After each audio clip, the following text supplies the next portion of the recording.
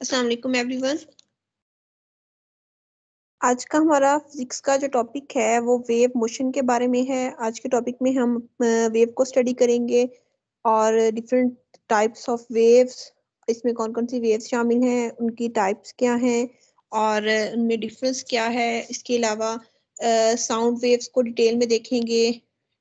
जो आज के टॉपिक का हमारा थीम है, वो wave sound waves mechanical electromagnetic waves इसके अलावा हम लोग इसमें देखेंगे कि हम ऑडियबल साउंड फ्रीक्वेंसी कितनी है और डिफरेंट ऑर्गेनिज्म जो हैं, उनकी ऑडियोबल साउंड रेंज कितनी है।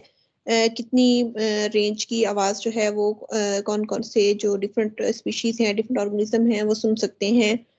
और सिंपल हार्मोनिक मोशन को स्टडी करेंगे। जो जो कि एक टाइप की जिसमें वेव मोशन इन्वॉल्व होती है इसके अलावा जो हमारी साउंड वेव्स में जाएँ तो उस, उसमें जो जो चीज़ें साउंड को में इन्वॉल्व होती हैं डिस्टर्ब करती हैं साउंड को या साउंड डिपेंड करती है जिन जिन चीज़ों पे वो क्या है। इन सब चीज़ों को आज के लेक्चर में हम देखेंगे। सबसे पहले हम देखते हैं वेव मोशन क्या होती है? वेव मोशन जो है, वो वेव मोशन एक प्रोपोगेशन है डिस्टर्बेंसेस की। वेव हमारे पास डिस्टर्बेंस होती है किसी भी मीडियम के अंदर। और उस डिस्टर्बेंस की जो प्रोपोगेशन है, उसका फैलाव है, उसका आगे बढ़ना है, वो वेव मोशन है। That is deviation from a state of rest और इक्विलिब्रियम इक्विलिब्रियम या रेस्ट की स्टेट से किसी भी बॉडी का डेविएट करना मतलब उससे अपनी जगह से हट जाना आगे फैलाव करना, फैलना। From place to place in a regular और ऑर्गेनाइज्ड वे और एक रेगुलर और ऑर्गेनाइज तरीके से किसी भी मीडियम में डिस्टर्बेंस जो है प्रोपोगेशन डिस्टर्बेंस की वो वेव मोशन कहलाती है। Most familiar are surface waves on water, but both sound and light travel as wave-like disturbances and the motion of all subatomic particle exhibit wave-like properties. इसके अलावा जो इसमें मोस्ट इंपॉर्टेंट है वो वाटर आप पानी के अंदर कभी पत्थर का एक टुकड़ा फेंके, टब के अंदर पानी है या तालाब में पानी है तो उसमें एक खास पैटर्न में हमें वेव्स पैदा होती नज़र आती हैं और वो जो डिस्टर्बेंस है, वो आगे एक जगह पे आपने पत्थर फेंका तो उससे थोड़ा फासले तक हमें वो वेव नज़र आती हैं। तो वो यही होता है कि वेव पैदा वहीं पे होती है जहाँ पे आपने किसी मटेरियल को हिट किया, किसी भी मैटर को हिट किया, लेकिन वो नेक्स्ट उसकी प्रोपोगेशन होती रहती है और वो वेव मोशन कहलाती है। Uh, the study of waves therefore form the topic of central importance in all physical sciences and engineering physical sciences में और engineering में जो wave motion है इसकी बहुत importance है वेव्स की काइंड्स जो है टू बेसिक काइंड्स है और भी बहुत सारी है लेकिन बेसिक जो काइंड्स हैं वेव्स की वो दो हैं उसमें इलेक्ट्रोमैग्नेटिक वेव्स और मैकेनिकल वेव्स शामिल हैं अब मैकेनिकल वेव्स और इलेक्ट्रोमैग्नेटिक वेव्स में क्या डिफरेंस है? मैकेनिकल वेव्स में की एग्जांपल देखें इसमें वाटर वेव्स होती हैं साउंड वेव्स होती हैं रूप्स में, रस्सी में जो वेव्स होती हैं, या स्प्रिंग में वेव्स होती हैं। और मैकेनिकल वेव्स जो हैं, इनका जो खास एक वेव मोशन का तरीका कार ये है कि इसमें मीडियम की ज़रूरत होती है। हमें वेव मैकेनिकल वेव्स जो हैं, वो मीडियम में ट्रेवल करती हैं। जैसे हमारे पास साउंड वेव्स हैं तो उनके गुजरने के लिए, उनके फैलाव के लिए जो मीडियम है, वो एयर है वाटर वेव्स पैदा होती हैं तो उनके लिए मीडियम जो है वो वाटर है, ठीक है? इस तरह रूप में अगर वेव पैदा हो रही है तो उसके लिए रूप मीडियम है, एक स्प्रिंग इस तरह से ऐसी वेव जिनकी प्रोपोगेशन के लिए हमें मटेरियल मीडियम की ज़रूरत होती है, ऐसी वेव्स को मैकेनिकल वेव्स कहते हैं. और इलेक्ट्रोमैग्नेटिक वेव्स जो होती हैं, वो ट्रेवल कर सकती हैं इन मीडियम और इन वैक्यूम ये मीडियम में भी कर सकती हैं, लेकिन वैक्यूम में भी ये ट्रेवल कर सकती हैं. जैसे हमारे सिग्नल्स ये जो हैं हमारे मोबाइल के, हमारी ये जो हैं, ये एक तरह से वेव्स ही हैं और ये इलेक्ट्रोमैग्नेटिक वेव्स की एग्जांपल है रेडियो वेव्स वगैरह एक्सरेज ये सारी जो वेव्स हैं, ये इलेक्ट्रोमैग्नेटिक वेव्स की एग्जांपल्स हैं। जी वेव्स की जो आ, हमने यहाँ पे देखा sound wave sound wave mechanical wave है और साउंड वेव्स की प्रोपोगेशन के लिए आ, एक मीडियम की ज़रूरत होती है जो कि एयर है। इसका मतलब है अगर हमारे आ, बोलने वाले दो अफराद के दरमियान मीडियम ना हो मतलब एयर ना हो हवा ना हो तो हमारी आवाज़ दूसरे तक नहीं जा सकती। बेशक आवाज़ आ भी रही है साउंड की प्रोडक्शन हो भी रही है लेकिन साउंड जो है वो सुनाई नहीं दे सकती ऑडियोबल नहीं होगी ठीक है? तो इसलिए साउंड की प्रोपोगेशन के लिए साउंड की वेव्स प्रोड्यूस होने के लिए मीडियम का होना बहुत ज़रूरी है।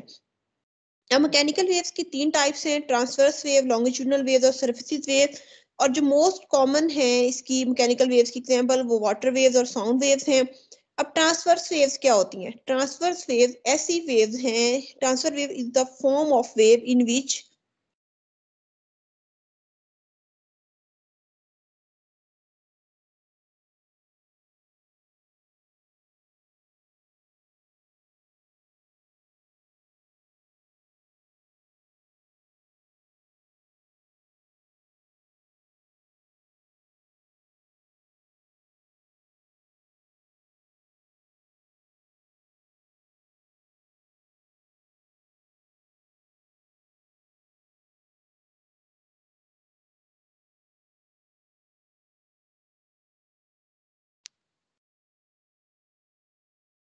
मेरी आवाज़ आ रही है?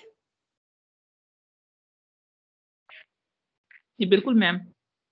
Okay okay ma'am.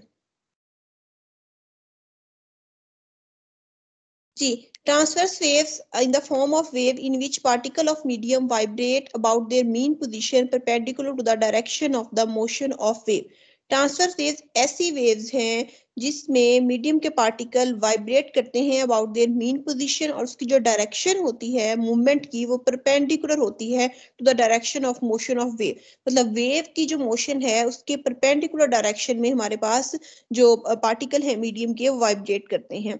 अब जो वेव्स पैदा होती हैं, उसके लिए मीडियम का वाइब्रेट होना ज़रूरी है. वाइब्रेशनल मोशन जो है वेव्स को प्रोड्यूस करने की वजह बनती है. और ट्रांसफर्स वेव एक ऐसी फॉर्म है मैकेनिकल वेव्स की, जिसमें particle of medium vibrate about their mean position perpendicular to the direction of the motion of wave ये definition जो है इसको बहुत अच्छे से याद होना चाहिए कि इसमें direction जो है वो perpendicular होती है motion of wave के अब longitudinal waves क्या होती हैं longitudinal waves में are the waves in which the vibration of the medium is parallel to the direction of wave travels and displacement of the medium is in the same और opposite direction of the wave propagation ji longitudinal waves में हमारे पास vibration जो है medium की, वो parallel होती है to the direction of wave travel and displacement of the medium is the same और ऑपोजिट जी, दोनों में डिफरेंस क्या है कि ट्रांसवर्स वेव्स में हमारे पास जो मीडियम की जो वेव की डायरेक्शन है, वो मीडियम के परपेंडिकुलर है, लेकिन लॉन्गिट्यूडल वेव में ये डायरेक्शन जो है, ये पैरेलल होती है।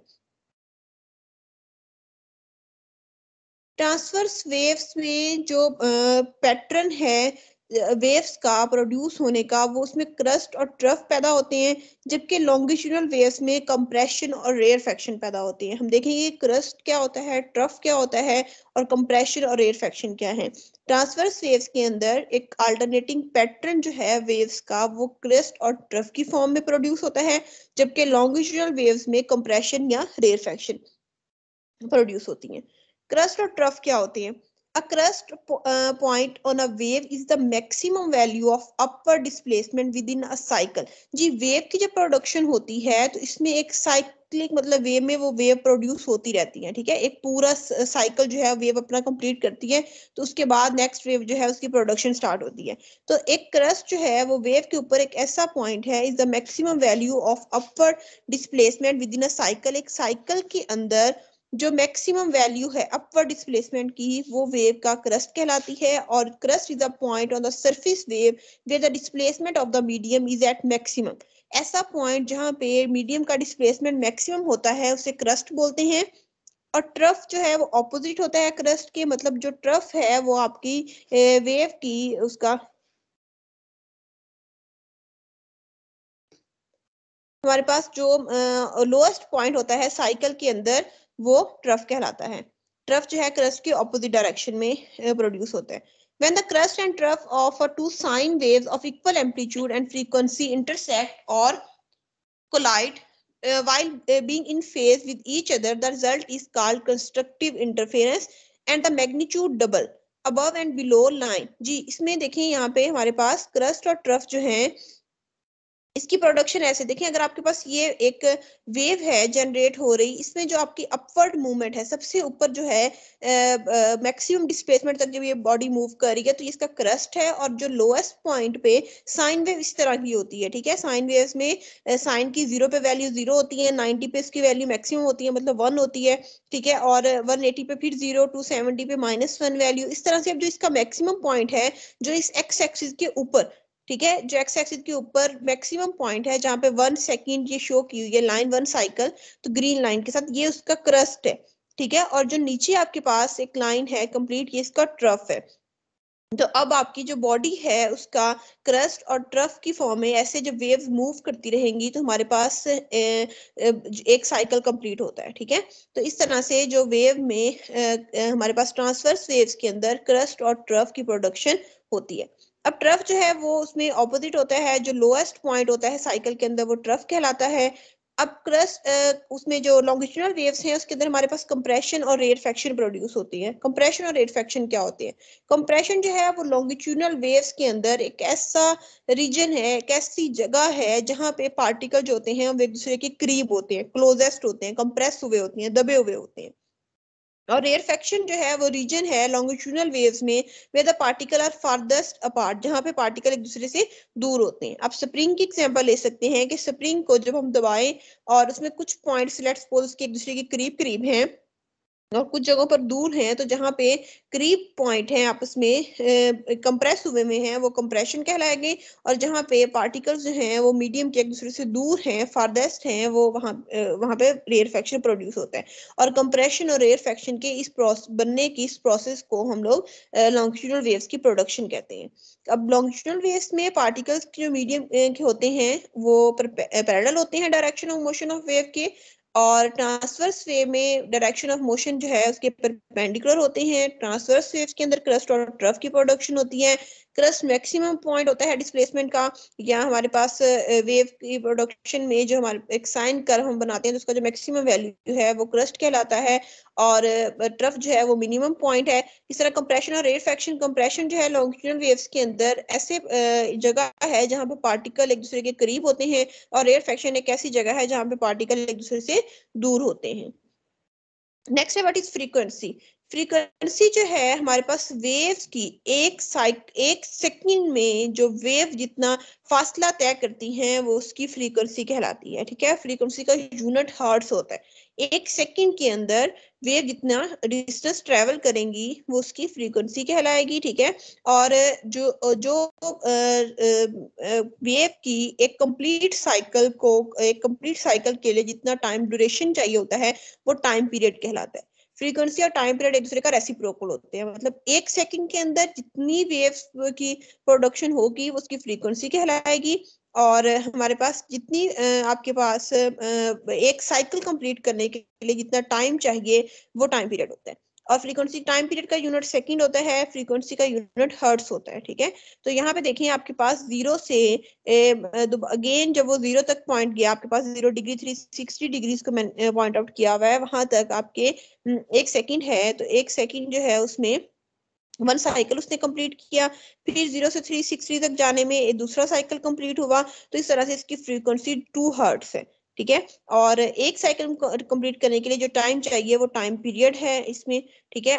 और जो मैक्सिमम पॉइंट होता है डिस्प्लेसमेंट का, वो एम्पलीट्यूड होता है और दो क्रस्ट के या दो ट्रफ के दरमियान का जो डिस्टेंस है उसे वेवलेंथ बोलते हैं। तो ये कुछ टर्म्स हैं जो इसको आप एक वेव की, एक यहाँ पे वेव से अंडरस्टूड कर सकते हैं कि हमारे पास एक क्रस्ट दो क्रस्ट और दो ट्रफ के दरमियान जो डिस्टेंस है, उसे वेवलेंथ बोलते हैं। और इस वेव में जो मैक्सिमम पॉइंट है, आप, की जो हाइट है मैक्सिमम पॉइंट तक या मिनिमम तक, वो आपके एम्पलीट्यूड कहलाता है। और एक सेकंड में एक जितने साइकिल कंप्लीट होंगे, वो उसका फ्रीक्वेंसी कहलाएगी। और एक साइकिल कंप्लीट करने के लिए जो टाइम चाहिए, वो हमारे पास टाइम पीरियड होता है। जी नेक्स्ट देखें, यहाँ पे high frequency audio radio waves हैं और लो फ्रीक्वेंसी रेडियो वेव्स हैं। हमें डायग्राम से शो हो रहा है कि हाई फ्रीक्वेंसी है इनकी और दूसरी हमारे पास जो रेडियो वेव्स हैं, इनकी फ्रीक्वेंसी लो है। मतलब ये एक सेकंड में उतने टाइम ज़्यादा डिस्टेंस ट्रेवल करी ज़्यादा वेव्स प्रोड्यूस हो रही हैं और नीचे वाले डायग्राम में उतने टाइम सेम है अगर हमारे पास तो वेव्स जो है कम प्रोड्यूस हो रही हैं। इस तरह से इसकी फ्रीक्वेंसी लो है। फ्रीक्वेंसी जो है वो नंबर ऑफ़ वेव्स है, ठीक है? नंबर ऑफ़ वेव जो एक सेकंड में प्रोड्यूस होती हैं। सिंपल हार्मोनिक मोशन क्या होती है? Simple harmonic motion is defined as a periodic motion simple harmonic motion एक पीरियोडिक मोशन है। पीरियोडिक मोशन यही होती है कि एक खास टाइम के बाद पार्टिकल जो है, वो अपनी मोशन को रिवाइज करना शुरू कर दे मतलब दोहराना शुरू कर दे। जिस पैटर्न पे उसकी मोशन थी, उसी पैटर्न पे अगेन मोशन जो है, वो स्टार्ट हो जाए। इस तरह जैसे हमारे पास साइन वेव्स थी तो साइन वेव्स यहाँ पे देखिए, ये साइन वेव है। साइन थीटा जो हमने टिग्नोमेट्री फ़ंक्शन पढ़ा था मैथमेटिक्स में, उसमें उसकी वेव अगर आप बनाए तो ऐसी बनती है, उसका ग्राफ साइन थीटा का, ठीक है? साइन थीटा का ग्राफ जब आप बना, हम बनाते हैं और साइन थीटा का जो पीरियड है वो टू पाए होता है। जब साइन थीटा का पीरियड टू पाया तो उसका मतलब यही है कि देखिए 360 360 मीन टू पाए टू पाए के बाद इसने अपनी मोशन को रिवाइज करना शुरू कर दिया। मोशन जो है वो दोबारा से उसी पैटर्न पे, उसी तरीके से एक वेव प्रोड्यूस होना शुरू होगी ज़ीरो से 360 और फिर देखिए ज़ीरो से थ्री सिक्सटी मतलब यहाँ पे अगर आप three zero three sixty mention ना करें नेक्स्ट एंगल मेंशन करना स्टार्ट कर दें हम लोग तो ये वेव जो है अपनी मोशन को दोबारा उसी पैटर्न पे रिवाइज करती है रिपीट करती है। तो जब ये इसकी मोशन जो है, वो दोबारा रिपीट होती है तो इसका मतलब ये है कि साइन का जो पीरियड है, वो टू पाई है। मतलब टू पाई के बाद ये अपनी वेव की मोशन जो है, उसको सेम पैटर्न पे स्टार्ट कर देता है। तो अब जो सिंपल हार्मोनिक मोशन होती है, ये भी एक पीरियोडिक मोशन की एग्ज़ाम्पल है है पीरियोडिक मोशन की टाइप है। पीरियडिक मोशन एक ऐसी periodic motion of is defined as a periodic motion of a point along a straight line एक स्ट्रेट लाइन के अलोंग इसमें पार्टिकल मूव करते हैं सच एज दैट इसमें कंडीशन क्या होती है कि एक्सलरेशन हमेशा एक fixed पॉइंट के अलोंग होता है और वो proportion होता है distance के। एक्सेलरेशन जो है वो डिस्प्लेसमेंट के या डिस्टेंस के उस पॉइंट से जो डिस्टेंस है, अब एक्सेलरेशन की टर्म इन्वॉल्व हो रही है तो ऑब्वियसली डिस्टेंस हमारा डिस्प्लेसमेंट की फॉर्म में होगा। अब डिस्टेंस के डायरेक्टली प्रोपोर्शन होता है। एक्सेलरेशन जो है वो डिस्टेंस के डायरेक्टली प्रोपोर्शन होता है सिंपल हार्मोनिक मोशन में। Simple harmonic motion in physics repetitive movement back and forth through an equilibrium or central position so that the maximum displacement on one side of this position is equal to the maximum displacement of the other side the time interval of each complete vibration is the same अब एक vibration जो है, इसमें हमारे पास time interval vibration का same होता है, लेकिन जो पार्टिकल्स हैं, वो अपनी मोशन को उसी पैटर्न पे रिवाइज करते रहते हैं।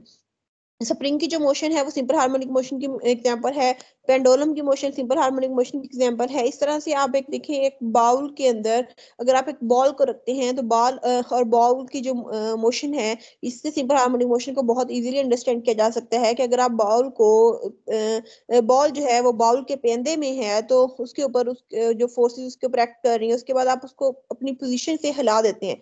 वो उसकी सेंट्रल पोजीशन है। उस पोजीशन से आप उसको जब पोजीशन पे उसके पैंदे से हटा के उसकी साइड्स पे ले आए ले आए बाउल की तो आप उसको छोड़ दें जब वहाँ पे फोर्स लगाने के बाद तो बॉल अपनी मोशन को दोहराती रहती है।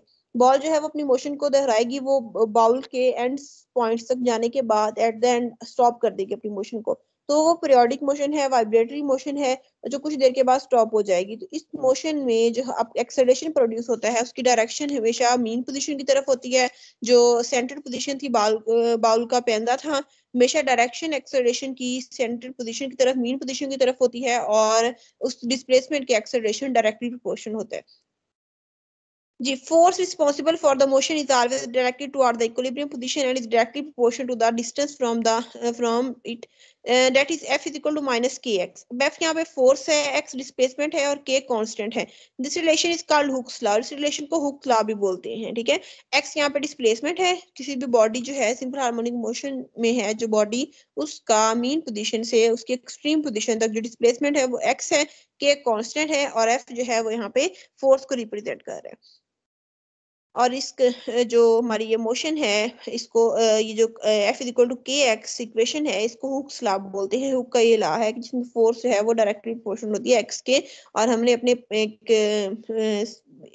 प्रीवियस लेक्चर्स में पढ़ा था जिसमें हमने स्ट्रेस और स्ट्रेन का नाम दिया था इन्हें, कि स्ट्रेस और स्ट्रेन डायरेक्टली प्रोपोर्शनल होते हैं और ये हमें हुक लॉ बताता है। स्ट्रेस और स्ट्रेन की जो रेशो होती है, वो कांस्टेंट नंबर होती है और ये हुक लॉ की स्टेटमेंट थी। और यहाँ पे देखें, अगर आपके पास स्ट्रेस और स्ट्रेन देखें स्ट्रेस यहाँ पे फोर्स है और स्ट्रेन एक्स अगर इसकी वैल्यू आप निकालें तो ये कांस्टेंट नंबर ही आएगी K equal K equal F by X इनकी रेशियो जो है दोनों की वो कांस्टेंट नंबर आएगी। तो ये सेम वही स्टेटमेंट है हुक्स की, सिर्फ़ उसको थोड़ा सा रीअरेंज करके लिखा हुआ है। Example of simple harmonic motion, a specific example of simple harmonic motion oscillator is the vibration of a mass attached to a vertical spring, the other end of which is fixed in the ceiling. Spring की motion जिसके एक सिरे को आप बाँध दें ये simple harmonic motion की example है उसको अगर खींचते हैं spring को उसकी mean position से extreme position की तरफ़ तो spring जो है वो थोड़ी देर अपनी motion को रखेगा मतलब जहाँ से mean position से थोड़ा आगे की तरफ़ भी move करेगा और at the end stop कर जाएगा तो different position में उसकी velocities को और डायरेक्शन को नोट करते हैं और एट द एंड देखें तो सिंपल हार्मोनिक मोशन की सारी कंडीशन उसमें फुलफिल हो रही होती हैं। जी साउंड क्या है? साउंड जो है इसमें जो, और जो हमारे पास जो कंडीशन है सिंपल हार्मोनिक मोशन की, वो यही है कि एक्सेलरेशन जो होता है, वो टुवर्ड्स द मेन पोजीशन होता है एक्सेलरेशन डिस्प्लेसमेंट के डायरेक्टली प्रोपोर्शनल होता है, ठीक है? तो ये जैसी स्प्रिंग की जो मोशन है, उसमें भी सेम यही पैटर्न फॉलो होता है। इस तरह टाइम पीरियड पेंडोलम जो है हमारे पास उसमें भी सिंपल पेंडोलम जो है, उसमें भी, उसकी मोशन जो है, वो भी सिंपल हार्मोनिक मोशन की एग्ज़ाम्पल है। तो इन सिंपल हार्मोनिक मोशन की जब भी हम बात करेंगे तो इसमें हमारे पास सारे terms frequency amplitude amplitude wavelength time period सारे टर्म्स जो हैं वो इन्वॉल्व होती रहेंगी। और इन सारे टर्म्स को देखते हुए ही हम सिंपल हार्मोनिक मोशन को एक्सप्लेन कर सकते हैं। नेक्स्ट है हमारे पास साउंड uh, साउंड क्या है? साउंड जो है वो एक सेंसेशन ऑफ़ हियरिंग है। सुनने का एहसास किसी भी चीज़ को ऐसी चीज़ जिसको हम सुन सकते हैं। वो साउंड कहलाती है। सुनने का जो एहसास है वो साउंड है। The stimulus due to sounding body capable of producing a sensation of hearing एक ऐसा तरीकाकार जिसमें हम कोई भी सुनने वाली बॉडी जो है वो सुनने का एहसास उसमें प्रोड्यूस हो, वो साउंड कहलाती है। A sound is a form of energy that travels through a medium in the form of longitudinal और कंप्रेशनल वेव अब साउंड जो है, ये मैकेनिकल वेव्स तो है, लेकिन साउंड वेव जो है, वो लॉन्गिट्यूडनल वेव्स होती हैं, ये ट्रांसवर्स वेव्स नहीं होती। अगर हम इलेक्ट्रोमैग्नेटिक मैग्नेटिक वेव्स और ट्रांसवर्स वेव्स मैकेनिकल वेव्स में से देखें तो साउंड वेव्स हमारे पास मैकेनिकल वेव्स होती हैं, और अगर हम लोग कंपेरिजन करें ट्रांसवर्स और लॉन्गिट्यूडनल वेव्स में देखें तो साउंड वेव्स हमारे पास लॉन्गिट्यूडनल वेव्स हैं। अब लॉन्गिट्यूडनल वेव्स हैं तो इसमें कंप्रेशन और एयरफेक्शन पैदा होते हैं और इन वेव्स को कंप्रेशनल वेव्स भी कहते हैं। लॉन्गिट्यूडनल वेव्स को कंप्रेशनल वेव्स भी कहते हैं। When sound fall on air membrane it produces sensation of hearing जब sound uh, air membrane के ऊपर fall करती है तो ये uh, सुनने का एहसास इससे प्रोड्यूस होता है। Three things are necessary for generation of sound sound की जनरेशन के लिए तीन चीज़ें जो हैं वो ज़रूरी होती हैं। एक वाइब्रेटिंग बॉडी का होना ज़रूरी है, एक ट्रांसमिटिंग मीडियम का होना ज़रूरी है और हेयरिंग डिवाइस का होना ज़रूरी है। जी, जब हम लोग किसी कोई भी चीज़ जो है, आवाज़ प्रोड्यूस होती है या आवाज़ को सुनते हैं तो उसके लिए एक ऐसी बॉडी जो वाइब्रेट करे मतलब अगर हम ह्यूमन की बात करें तो ह्यूमन बॉडी वाइब्रेट करेगी तो साउंड प्रोड्यूस होगी। ट्रांसमिशन मीडियम ट्रांसमिटिंग मीडियम होना चाहिए। तो मीडियम क्या है? दो लोग अगर बात कर रहे हैं, सुन रहे हैं तो उनके दरमियान मीडियम एयर है और हेयरिंग डिवाइस और अगले शख्स का कान होना चाहिए सुनने के लिए हेयरिंग डिवाइस भी होनी चाहिए। तो तीन चीज़ें जो है, वो साउंड की जनरेशन के लिए बहुत ज़रूरी है। वाइब्रेटिंग बॉडी क्या होती है? A vibrating body produce sound vibrating body sound को प्रोड्यूस करती है therefore it is a must ये लाजमी होनी चाहिए। As the body vibrate it does work on the particle of the medium and sets them into vibration जैसे ही body जो है, वो वाइब्रेट करती है तो ये पार्टिकल मीडियम के उनके ऊपर वर्क करती है और वाइब्रेशन जो है, वो प्रोड्यूस होती है। अब साउंड वेव्स जो होती हैं, हमने पहले देखा कि ये हमारे पास मैकेनिकल वेव्स थी। मैकेनिकल वेव्स थी तो हमने ये भी देखा कि इसमें अगर इस इसको प्रोड्यूस करें आप वैक्यूम में तो साउंड वेव्स हमें सुनाई नहीं देती। अब एक तो वैक्यूम में जब आप प्रोड्यूस करेंगे तो सुनाई नहीं देंगे मतलब वहाँ पे मीडियम नहीं है कोई भी और वाइब्रेटिंग बॉडी ही नहीं है। अगर अगर साउंड प्रोड्यूस करने वाली बॉडी ही नहीं ना हो तो साउंड की प्रोडक्शन का जो आ, हमारे पास एक सोर्स है वो ही खत्म हो जाएगा तो साउंड प्रोड्यूस नहीं हो सकती। transmitting medium transmitting medium here the vibrating body does work on the particle uh, of the medium and set them into oscillation. Thus, the vibrating body supplies the energy of its vibration to the particle of the medium transmits this energy from the source to the receiver using alternate compression or rarefaction अब sound की जो transmission है, उसके लिए medium चाहिए और वो medium काम क्या करता है? वो मीडियम कैरी करता है जो अल्टरनेट कंप्रेशन और एयरफेक्शन प्रोड्यूस हो रहे थे। क्योंकि लॉन्गिट्यूडनल वेव्स ही इसमें कंप्रेशन और एयरफेक्शन पैदा होंगे। कंप्रेशन और एयरफेक्शन का जो एक सिलसिला है, एक उसका पैटर्न है, उसको नेक्स्ट किसी हेयरिंग डिवाइस तक लेके जाने के लिए जो मीडियम चाहिए होता है, वो ट्रांसमिटिंग मीडियम है। इसके लिए एक जो एक एक्सपेरिमेंट है, बहुत सिंपल सा इसके लिए किया जाता है। ट्रांसमिटिंग मीडियम कहीं होना ज़रूरी है साउंड की प्रोडक्शन के लिए। या साउंड वेव है मैकेनिकल वेव है, इस चीज़ को एक्सप्लेन करने के लिए। एक बेल जार को एक किसी भी ऐसे जार में रखें जहाँ पे जिसकी साउंड जो है उसको सारी को निका एयर जो है उसके अंदर सारी वैक्यूम से खारिज कर दें और वहाँ पे हमारे पास वैक्यूम प्रोड्यूस हो जाए, खला हो जाए मीडियम जो है एयर वो खत्म हो जाए तो अगर बेल बज भी रही है उस जार के अंदर तो बाहर खड़े शख्स को वो आवाज़ सुनाई नहीं देती बेल के बजने की, क्योंकि वहाँ पे मीडियम ही नहीं है हेयरिंग डिवाइस और वाइब्रेटिंग बॉडी के दरमियान। तो ट्रांसमिटिंग मीडियम का होना बहुत ज़रूरी है साउंड के प्रोडक्शन के लिए। नेक्स्ट है hearing device device that can detect sound wave is known as the hearing device or receiver एक ऐसी डिवाइस जो डिटेक्ट करती है साउंड वेव्स को। उसे हेयरिंग डिवाइस बोलते हैं या रिसीवर बोलते हैं मतलब मसूल करने वाला, लेने वाला रिसीवर या हेयरिंग डिवाइस जो साउंड को पहचाने डिटेक्ट करे मतलब उसको रिसीव करे। ह्यूमन हेयर जो है, वो बेस्ट रिसीवर है साउंड वेव्स का which convert the sound waves into the sensation of hearing जो साउंड वेव को सेंसेशन ऑफ़ हियरिंग में चेंज करता है.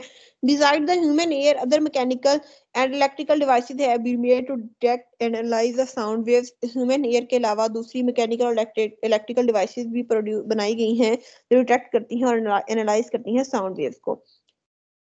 अब जो मेन हमारे पास साउंड की जो करेक्टरिस्टिक्स है, उनको हम देखेंगे। There are few fundamental characteristic of sound by means of which we can distinguish one sound from the other sound एक साउंड की ऐसी करेक्टरिस्टिक जिनकी वजह से हम एक और दो मुख्तलिफ़ आवाज़ों में फ़र्क कर सकते हैं, वो क्या होती हैं?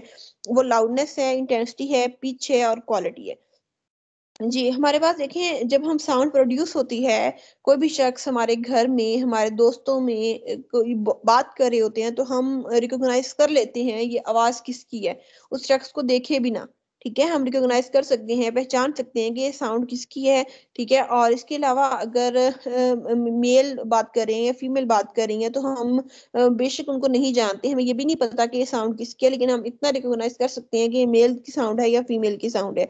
इस तरह से साउंड की जो क्वालिटी है, वो कैसी है, उसको हम रिकोगनाइज कर सकते हैं, ठीक है? और इस ये जो चीज़ें हैं, इसके लिए हमारे पास डिफरेंट ये साउंड की करेक्टरिस्टिक्स हैं, जिनकी वजह से हम साउंड्स में डिफरेंट साउंड्स में डिस्टिंग उन, उनको कर सकते हैं उनमें फ़र्क कर सकते हैं। लाउडनेस क्या होती है? The magnitude of auditory sensation produced by a sound is known as loudness जो बुलंदी है, एक आवाज़ की, जो ऑडिटरी सेंसेशन की मैग्नीट्यूड है, मिकदार है उसकी, वो लाउडनेस कहलाती है। Characteristic of sound by which we can distinguish between a loud and faint sound इसका नोन एज लाउडनेस साउंड की ऐसी खसूसियत जिसकी वजह से हम एक भारी और मध्यम आवाज़ में फ़र्क कर सकते हैं वो भी लाउडनेस कहलाती है, ये उसकी एक डेफिनेशन है मजीद। Loudness directly depends upon the intensity of sound और लाउडनेस है वो डायरेक्टली डिपेंड करती है साउंड की इंटेंसिटी पे। ये भी बहुत इंपॉर्टेंट बात है नोट करने के लिए।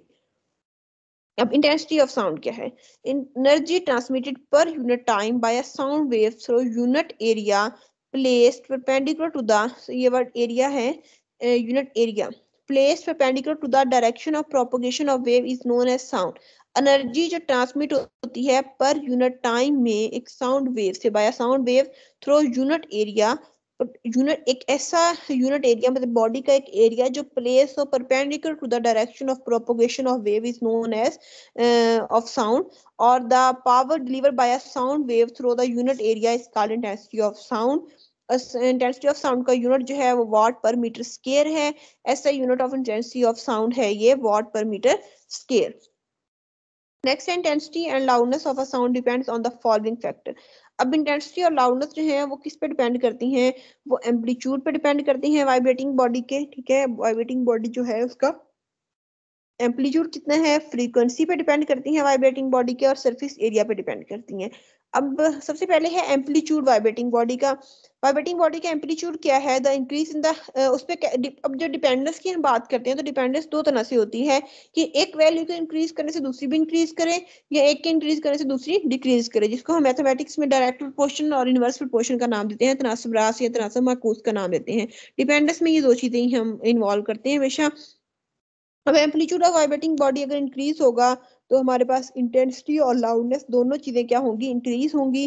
For example a drum produce a loud sound where its membrane is struck strongly while the sound is faint when the membrane is struck gently. जब उसकी ड्रम की मेम्ब्रेन जो है, वो स्ट्रक होगी स्ट्रांगली खिंची हुई होगी तो साउंड जो प्रोड्यूस होती है, वो ज़्यादा होती है लाउड होती है और साउंड मध्यम होगी जब मेम्ब्रेन उसकी स्ट्रक होगी जेंटली नरमी से बंधी हुई होगी। Frequency of vibrating body the increase in the frequency का मतलब है कि पहले हमने जो पढ़ा एम्पलीट्यूड वाइब्रेटिंग बॉडी का वो डायरेक्टली प्रोपोर्शनल है uh, उसके इंटेंसिटी के भी और लाउडनेस के भी। Frequency of vibrating body the increase in the frequency of vibrating body also cause an increase in the loudness of sound frequency increase होगी तब भी loudness of sound increase होगी for example the sound produced by a thin taut membrane of a drum is louder than the sound produced by a thick loose membrane of a drum ji surface area of vibrating body the increase in the surface area of vibrating body cause an increase in the loudness of sound अब surface area increase होगा body का तो भी loudness जो है वो increase होगी अब लाउडनेस हमने जो थ्री फैक्टर्स हमने पढ़े हैं अभी तक, उनमें, उनके लाउडनेस डायरेक्टली प्रोपोर्शनल मतलब उन फैक्टर्स के इंक्रीज होने से लाउडनेस भी साथ उसके इंक्रीज हो रही है। For example a dhol produce a loud sound as compare with dhol की ढोलक। अब ढोलक जो है, उसका सर्फिस एरिया कम होगा तो उससे साउंड जो प्रोड्यूस होगी, उसकी लाउडनेस भी कम होगी। ढोल का सर्फिस एरिया ज़्यादा होता है तो ढोल में से जो साउंड प्रोड्यूस होगी, उसकी जो हमारे पास लाउडनेस है, वो भी ज़्यादा होगी। Distinguish between the vibrating body and uh, distance between the vibrating body and the listener. ये सबसे important factor है जिससे पे loudness जो है वो depend करती है।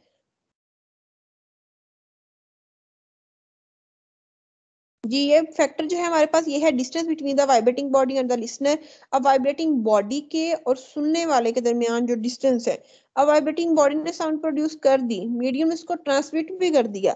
अब लाउडनेस जो है, वो उसकी डिपेंडेंस किस चीज़ पे है कि वाइब्रेटिंग बॉडी के और जो लिसनर है, जो रिसीवर है, उसके दरमियान हेयरिंग डिवाइस है, उसके दरमियान डिस्टेंस कितना है? अब यहाँ पे इनवर्स रिलेशन आ जाएगा। अगर आपके पास वाइब्रेटिंग बॉडी के दरमियान और लिसनर के दरमियान डिस्टेंस ज़्यादा है तो लाउडनेस कम होगी। ठीक है? अगर आप एक बुलंद आवाज़ से बात कर रहे हैं और सुनने वाला शख्स आपके करीब खड़ा है तो उसको आपकी आवाज़ बुलंद ही सुनाई देगी, लेकिन अगर वो दूर है तो आपकी आवाज़ उसको फेंट सुनाई देगी, ये कॉमन सी बात है। तो इसलिए जो डिस्टेंस है वाइब्रेटिंग बॉडी और डिस्टेंस के डिस्टेंस के दरमियान ये इसके इन्वर्सरी पोर्शन होती है लाउडनेस पिच क्या होती है? The number of vibration per second or frequencies determines the pitch of sound अब नंबर ऑफ़ वाइब्रेशन जो एक सेकेंड में होती हैं, वो पिच वो फ्रीक्वेंसी कहलाती है, ठीक है?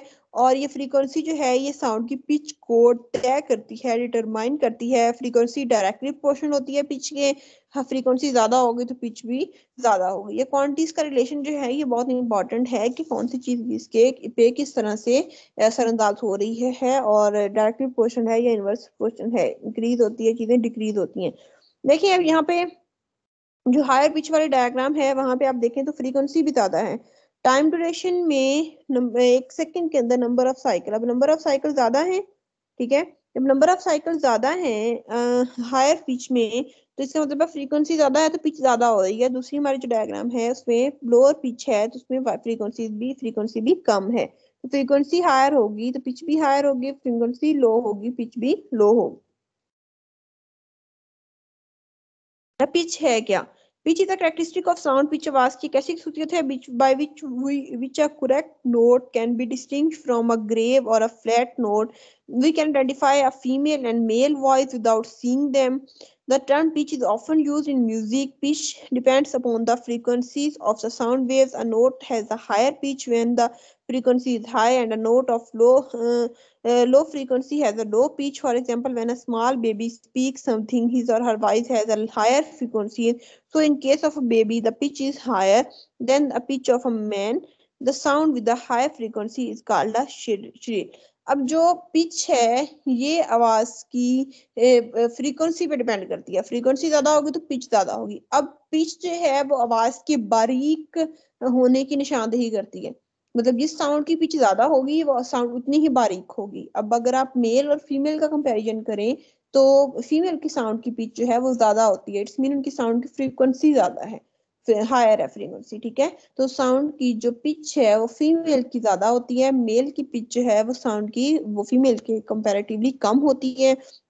इस तरह अगर आप एक बेबी की और मैन का कंपैरिजन कर रहे हैं तो उसमें भी ऐसा ही है कि बेबी की साउंड की पिच बेबी की साउंड की पिच जो है वो हायर होगी मैन की साउंड की पिच की नस्बत, ठीक है? क्योंकि बेबी की साउंड मैन की नस्बत हमेशा बारीक होती है, ठीक है? इसलिए उसकी फ्रीक्वेंसी भी ज़्यादा होगी और पिच भी ज़्यादा होगी। Quality of sound, the word timbre also describe the term quality as different source produce different sound the timbre helps us to distinguish between them. A good good sound sound of good quality is pleasant to listen the instrument are of different shapes and size and they produce different harmonics of loudness is their sound can easily be distinct quality of sound जो है इसमें सबसे जो main बात है वो यही है कि ऐसी आवाज़ जो हमारे हमें अच्छी लगे प्लेजेंट हो लिसन सुनने में उसकी क्वालिटी अच्छी होती है ठीक है इससे हम दो और जो टर्म है वो इंट्रोड्यूस करवाते हैं म्यूज़िक की और नॉइस की म्यूज़िक एक ऐसी आवाज़ होती है जो हमें सुनने में खुशगवार एहसास देती है प्लेजेंट सेंसेशन देती है सुनने में। और एक ऐसी साउंड जो शोर भी आवाज़ ही होती है, लेकिन वो अनप्लेजेंट होती है to human ear human ear के लिए ऐसी साउंड जो उसको प्लेजेंट लगे, खुशगवार हो, वो म्यूज़िक कहलाएगी और अनप्लेजेंट साउंड जो है वो नॉइस कहलाएगी। जी, अब साउंड की प्रोडक्शन और प्रोपोगेशन दो डिफरेंट हमारे पास टर्म है। साउंड का पैदा होना और साउंड का फैलना, अशात साउंड की। साउंड जो है वो वाइब्रेशन से प्रोड्यूस होती है। When a tuning fork struck it prongs vibrate उसके जो सिरे हैं वो वाइब्रेट करते हैं साउंड प्रोड्यूस होती है। फॉर्क की डायग्राम भी यहाँ पे दिखाई हुई है। Speed of sound speed of sound depends on the medium by which sound waves travel speed of sound depend करती है उस मीडियम के ऊपर जिसमें साउंड ट्रेवल करती है. Sound produce in human is due to the vocal cord sound जो human में प्रोड्यूस होती है, वो वोकल कॉर्ड की वजह से होती है. और इसमें देखें जो साउंड की एक एक प्रोडक्शन है, इसका हम जो पढ़ रहे हैं, इस, हम आज के लेक्चर में, कि हम इसकी फ़िज़िकल सेंस में इसको स्टडी कर रहे हैं और आप बायोलॉजी के अपने लेक्चर में इसको ह्यूमन एयर की कंस्ट्रक्शन जब पढ़ेंगे तो उसमें आपको ये वोकल कॉर्ड का और सारा जो कान की एक पूरी साख्त है स्ट्रक्चर है, उसमें इनर आउटर और एयर ड्रम सारी चीज़ें जो हैं, वो उसमें क्लियर हो जाएँगी। Propagation of sound जो है sound is an energy that is transmitted in the form of sound waves sound जो है energy की कैसी type है जो transmit होती है sound waves की form में when the object vibrates जब अब ये हम trans propagation पढ़ रहे हैं sound की साउंड जो है वो ट्रांसमिट कैसे होती है आगे, ठीक है? साउंड वेव्स की फॉर्म में व्हेन द ऑब्जेक्ट्स वाइब्रेट जब ऑब्जेक्ट वाइब्रेट करते हैं तो एयर सराउंडिंग इट वाइब्रेट और अब जब ऑब्जेक्ट वाइब्रेट करता है कोई तो वो साउंड आगे कैसे जाती है कि जो उसके करीब एयर होती है, वो वाइब्रेट करती है और वो एयर वाइब्रेट करती है तो वो साउंड वेव्स को कैरी करती है। If there is no medium then vibration uh, in an object will not travel through it अगर medium ना हो दो bodies के दरमियान तो vibration जो है वो travel नहीं करेगी इसकी propagation नहीं होगी sound requires the medium to travel sound को travel करने के लिए medium की ज़रूरत होती है इसका मतलब ये है ठीक है production of sound और propagation of sound दो different phenomena हैं और उनको हमने different way में यहाँ पे study किया है sound produced by human अब sound the human voice is produced by the vocal cord When air is blown from the lungs through the larynx, the vocal cords vibrate at a frequency and produce sound. यहाँ पे हम इसका थोड़ा सा phenomena देख रहे हैं human ear का. When these sound wave pass through our mouth and tongue, its pitch and quality are changed and the sound waves are converted into understandable speaking. जी ये साउंड जो है ये वेव जो हमारे माउथ में आती हैं टंग में आती हैं तो उनकी पिच भी चेंज होती है क्वालिटी भी चेंज होती है और साउंड वेव जो होती हैं, वो कन्वर्ट हो जाती हैं अंडरस्टैंडेबल स्पीकिंग में, जिसको हम सुन सकते हैं कैसी आवाज़ में। ऑडियबल फ्रीक्वेंसी रेंज अब ऑडियबल फ्रीक्वेंसी रेंज बहुत इंपॉर्टेंट है। ऑडियबल फ्रीक्वेंसी रेंज इसे कहते हैं कि अब हर कान की सुनने की जो सलाहियत है, वो मुख्तलिफ़ होती है। Audible frequency range human ear की वो रेंज है, ठीक है, जिसको इंसानी कान सुन सकता है। मतलब कितनी फ्रीक्वेंसी के साउंड हो तो इंसानी कान सुन सकता है। तो ह्यूमन एयर जो है, वो can detect the sound in a frequency range from about twenty hertz to 20 kilo hertz twenty kilo hertz mean twenty thousand hertz kilo हमने अपने फ़र्स्ट लेक्चर में प्रीफिक्सिस पढ़े थे। जहाँ पे हम लोगों ने टेन की power three is equal to kilo होता है, इसको स्टडी किया था। तो अपने प्रीवियस लेक्चर जो हैं, अगर आपने तैयार आपके हैं तो आपके माइंड में ये बात होनी चाहिए, टेन की पावर थ्री जो हमारे पास किलो है, और टेन की पावर थ्री को हम थ्री टाइम ज़ीरो जब लिखेंगे तो ये ट्वेंटी थाउज़ेंड बनेगा। Twenty hertz to twenty thousand hertz इस तरह भी आपकी वैल्यू गिवन हो सकती है और twenty hertz to twenty kilo hertz की फॉर्म में भी आपको वैल्यू गिवन हो सकती है। तो आपको जिस फॉर्म में भी वैल्यू दी जाए, आपको ये बात पता होनी चाहिए कि इंसानी गान जो है, वो साउंड जो डिटेक्ट करता है, उसकी फ्रीक्वेंसी रेंज ट्वेंटी हर्ट से ट्वेंटी थाउज़ेंड हर्ट्स या ट्वेंटी किलो हर्ट्स हम इसको पढ़ सकते हैं। इतनी रेंज होती है, उसकी human infants can actually hear frequency slightly higher than 20 but low lose high frequency sensitivity as they mature. The upper limit in average adult is often closer to 15 to 17 kilohertz.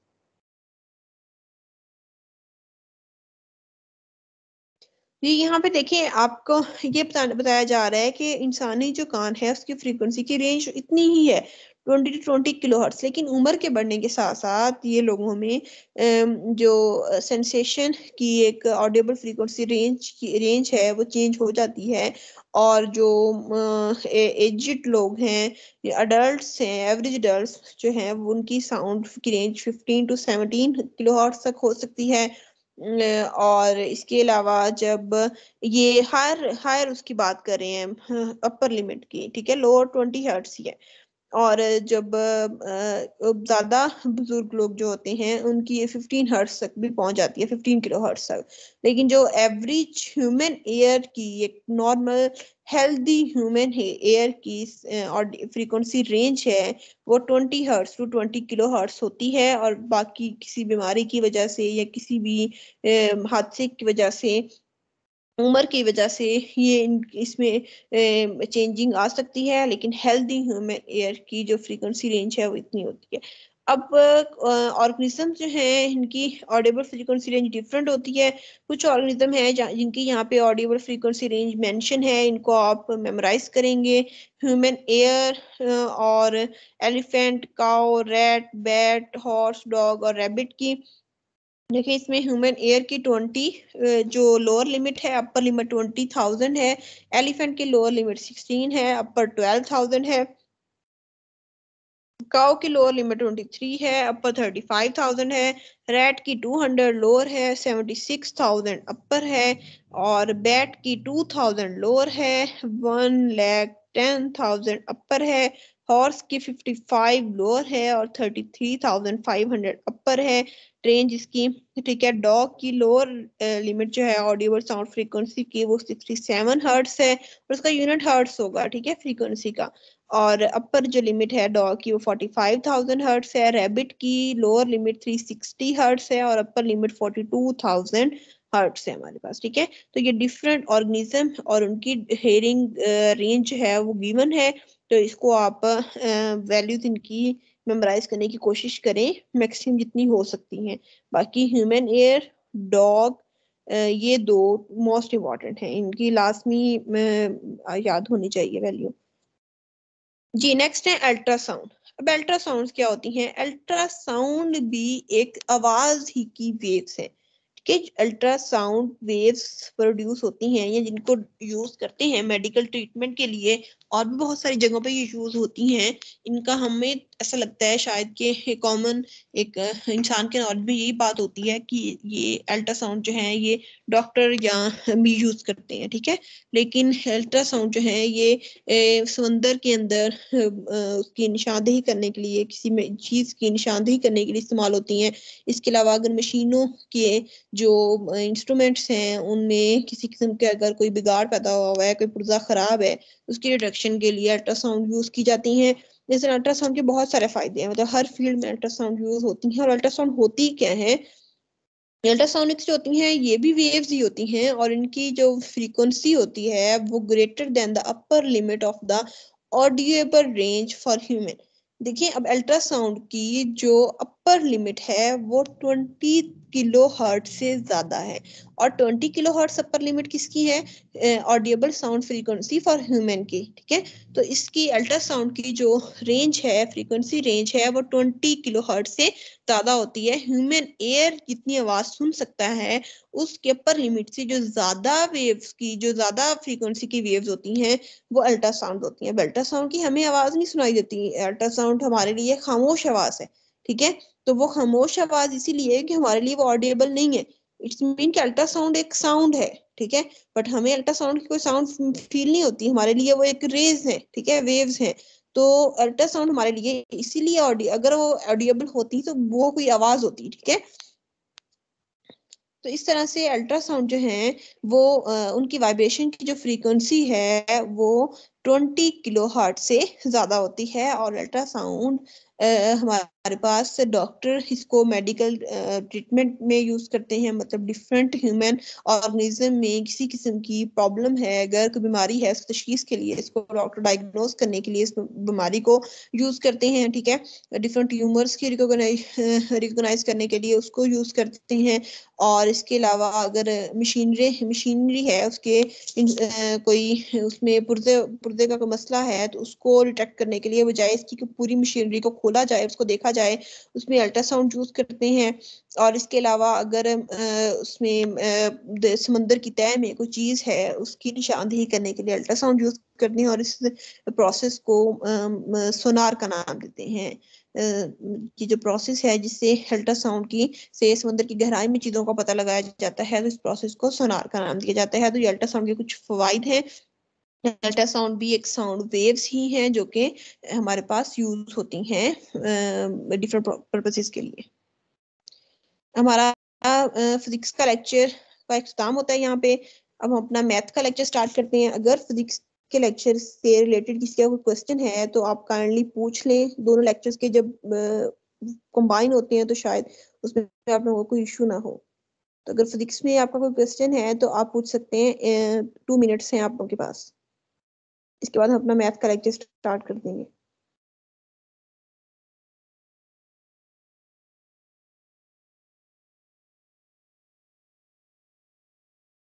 Question नहीं है तो चलिए फिर हम start करते हैं math का।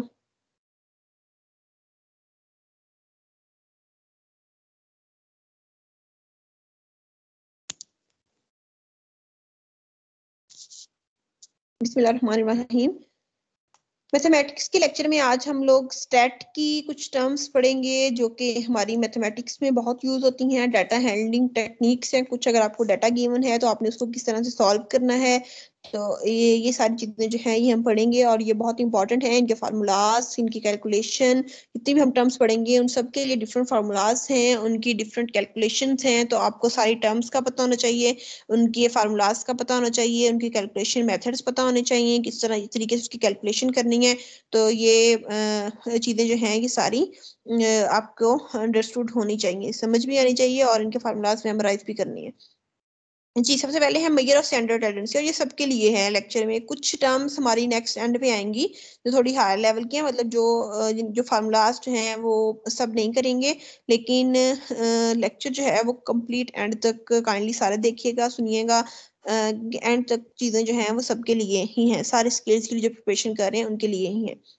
जी major centre tendency क्या होता है usually when two or more different data sets are to be compared if it is necessary to condense the data but for comparison the condensation of data set into a frequency distribution and visual presentation are not enough it is then necessary to summarize the data in a single value such a value usually somewhere in the center and represent the entire data set and it is called measure of center tendency or averages Theta measure of center tendency indicates the location or the general position of the distribution on the x-axis therefore is known as the measure of location और position जी देखिए अब जो हमारे पास data points हमें given होते हैं इसमें हम लोग टैली मार्क से और ये फोर फाइव लेवल की चीज़ें होती हैं जब कोई भी आपको पॉइंट्स गिवन है आप उसको काउंट करके और टैली मार्क की फॉर्म में उसको मेंशन कर देते हैं तो उसमें जब आप उस तरीके से डाटा को लिख रहे होते हैं, लिख तो हम सारे डाटा को रहे होते हैं तो कह रहे हैं कि कभी कभी ऐसा होता है कि आपको पूरे डाटा को एक सिंगल वैल्यू के इक्वल लिखना पड़ता है, एक एक वैल्यू में उसको समेटना पड़ता है, कह लें समराइज करना पड़ता है। तो उसके लिए हम डिफरेंट एवरेजेस जो हैं वो यूज़ करते हैं और वो एवरेजेस हमारे डाटा की एवरेजेस को देखने के बाद हमें अपने डाटा के बारे में इंफॉर्मेशन जो है वो हासिल हो जाती है। जैसे लेट्स सपोज़ आप ये देखें कि एक क्लास के मार्क्स हैं। ठीक है, अब हर बच्चे से मार्क्स पूछें या उनकी परसेंटेज निकाल लें और परसेंटेज बता दें कि इस क्लास का इतने परसेंट रिज़ल्ट है तो वो एक परसेंटेज जो है, वो सारी क्लास की परफॉर्मेंस को मेंशन कर देती है। ठीक है तो इस तरह से पूरे डाटा सेट को किसी एक नंबर में जब हम समेट लेते हैं समराइज कर लेते हैं तो ये हमारा डाटा हैंडलिंग टेक्निक्स के ज़रिए से ही हो सकता है। डाटा हैंडलिंग टेक्निक्स में मैयर सेंडर टेंडेंसी की टाइप्स आएँगी सबसे पहले। इसमें सबसे पहले हमारे पास अर्थमेटिक मीन होता है जोमेट्रिक मीन है हार्मोनिक मीन है मॉड है मीडियन है आ, ये सारी चीज़ें जो हैं ये मेजर ऑफ़ सेंटर टेंडेंसी हैं। इसमें सबसे बड़ी जो एक कंफ्यूजिंग मैथमेटिक्स की आ, जो मतलब देखने में आती है या मुझे लगता है कि है कि बहुत से स्टूडेंट्स जो आर्ट्स वाले हैं उनको भी आपको जनरल मैथ जब आपके सिलेबस में होगा तो उसमें प्रॉब्लम ये आती है कि जब मैट्रिक तक बहुत सारों ने उर्दू मीडियम में जब मैथमेटिक्स पढ़ी होती है तो अब पेपर तो आपका उर्दू मीडियम मैथमेटिक्स में नहीं होगा तो जब इंग्लिश मीडियम में आएगा तो उसमें बहुत सारी कंफ्यूजन होगी। अब अर्थमेटिक मीन जो है, इसको हो सकता है कि जब आपके पास ये उर्दू में वर्ड आए तो आपको इसका तरीकाकार फार्मूला हर चीज़ पता हो बट इंग्लिश में वो कंफ्यूजिंग हो। मतलब साइंस स्टूडेंट्स के लिए तो शायद ऐसा ना हो लेकिन हो पॉसिबिलिटी है इस चीज़ की जिन्होंने नेक्स्ट अगर मैथ नहीं पढ़ी और टेंथ तक उनकी उर्दू मीडियम थी तो। अर्थमेटिक मीन जो है ये अब हमारे पास इसमें आपको इन लफ्जों की जो उर्दू है वो भी पता होनी चाहिए। अर्थमेटिक मीन हिसाबी औस्त होती है उर्दू में इसको हिसाबी औस्त बोलते हैं ठीक है? हिसाबी औस्त अब निकालने का तरीका हो सकता है बहुत सारे लोगों को आता हो लेकिन जैसे ही वो आ, उसमें जाएगा अर्थमेटिक मीन के फॉर्म में आएगा तो कंफ्यूजिंग हो सकता है। अब जोमेट्रिक मीन जो है उसको क्लिजी औस्त बोलते हैं हार्मोनिक मीन को हम महंग औस्त बोलते हैं, और जो इंग्लिश मीडियम वाले हैं, उनके लिए उर्दू मीडियम वाले वर्ड ऐसे होंगे कि मतलब जैसे कभी सुने नहीं है। तो मॉड जो है, उसको आधा बोलते हैं मीडियन को वस्तानिया बोलते हैं। तो ये आपके उर्दू में जो टर्म्स हैं इंग्लिश में नेम आपको याद होने चाहिए। दोबारा रिवाइज कर लेती हूँ। अर्थमेटिक मीन हिसाबी औस्त जोमेट्रिक मीन अकलीदसी औस्त मीन हम महंग औस्त मॉड मीन आधा एंड मीडियन मीन वस्तानिया। अब ये आपके पास कुछ मैयर ऑफ़ सेंटर टेंडेंसी की टाइप्स हैं। सबसे पहले अर्थमेटिक मीन को देखेंगे। A value obtained by dividing the sum of all observation by the number of observation is called arithmetic mean आपके पास डेटा सेट में जितनी भी वैल्यूज़ हैं, उन सबको आप करें सम और टोटल नंबर ऑफ़ ऑब्जर्वेशन जो है, उन पे डिवाइड कर दें तो आपके पास अर्थमेटिक मीन आ जाती है। लेट सपोज़ आपके पास एक क्लास का रिज़ल्ट है टेन स्टूडेंट्स का तो आपने सबके नंबर्स को काउंट किया और टेन पे डिवाइड कर दिया तो जो वैल्यू आएगी वो अर्थमेटिक मीन होगी उस कंप्लीट क्लास के रिज़ल्ट की। अब अर्थमेटिक मीन हमारे पास जब डाटा हमें गिवन होता है तो डाटा टू दो फॉर्म्स में होता है, एक ग्रुप डाटा होता है, एक अनग्रुप डाटा होता है। तो अर्थमेटिक मीन जो है वो ग्रुप डाटा के लिए फाइंड करने के डिफरेंट तरीके हैं अनग्रुप डाटा के लिए फाइंड करने के डिफरेंट वेब मेथड्स हैं। और ग्रुप और अनग्रुप डाटा क्या होता है? ग्रुप डाटा एक ऐसा डाटा होता है जिसमें आपको क्लासेस बना के दी जाती हैं। लेट्स सपोज़ आपके पास अगर किसी भी वैल्यू आपको गिवन है क्लास के मार्क्स की अगर हम बात कर रहे हैं तो हम लोग अगर हंड्रेड मार्क्स का एक टेस्ट था तो हम उसमें हम उसमें ये कर लें एक उसको अरेंज कर लें इस तरह से कि क्लासेस बना लें कि जिन स्टूडेंट्स के टेंथ से ट्वेंटी के दरमियान मार्क्स है, उनको अलग कर लें। ट्वेंटी से ट्वेंटी वन से थर्टी वालों को अलग कर लें। थर्टी वन से फोर्टी वालों को अलग कर लें। इस तरह से फोर्टी वन से फिफ्टी वालों को अलग कर लें। इस तरह से अगर आप इनके ग्रुप बना लें तो ये आपका ग्रुप डाटा कहलाएगा। अगर आप पूरी क्लास के मार्क्स रैंडमली उठा के एक फॉर्म में लिख दें उसको तो वो अनग्रुप डाटा है, ठीक है? तो अनग्रुप डाटा के लिए डिफरेंट फार्मूलाज हैं ग्रुप डाटा के लिए डिफरेंट फार्मूलाज हैं। बाकी आर्थमेटिक मीन जो है उसको निकालने के कुछ एक डायरेक्ट मेथड है, एक शॉर्टकट मेथड है, एक स्टेप डेविएशन मेथड है, ठीक है? लेकिन अगर आपके पास आपसे ये फार्मूला सबके आपको याद होने चाहिए, लेकिन अगर अर्थमेटिक मीन निकालना है तो उसके लिए आप, इन सबसे आंसर अर्थमेटिक मीन का ऑब्वियसली सेम आएगा। तो अजान हो रही है, हम थोड़ा सा ब्रेक लेते हैं।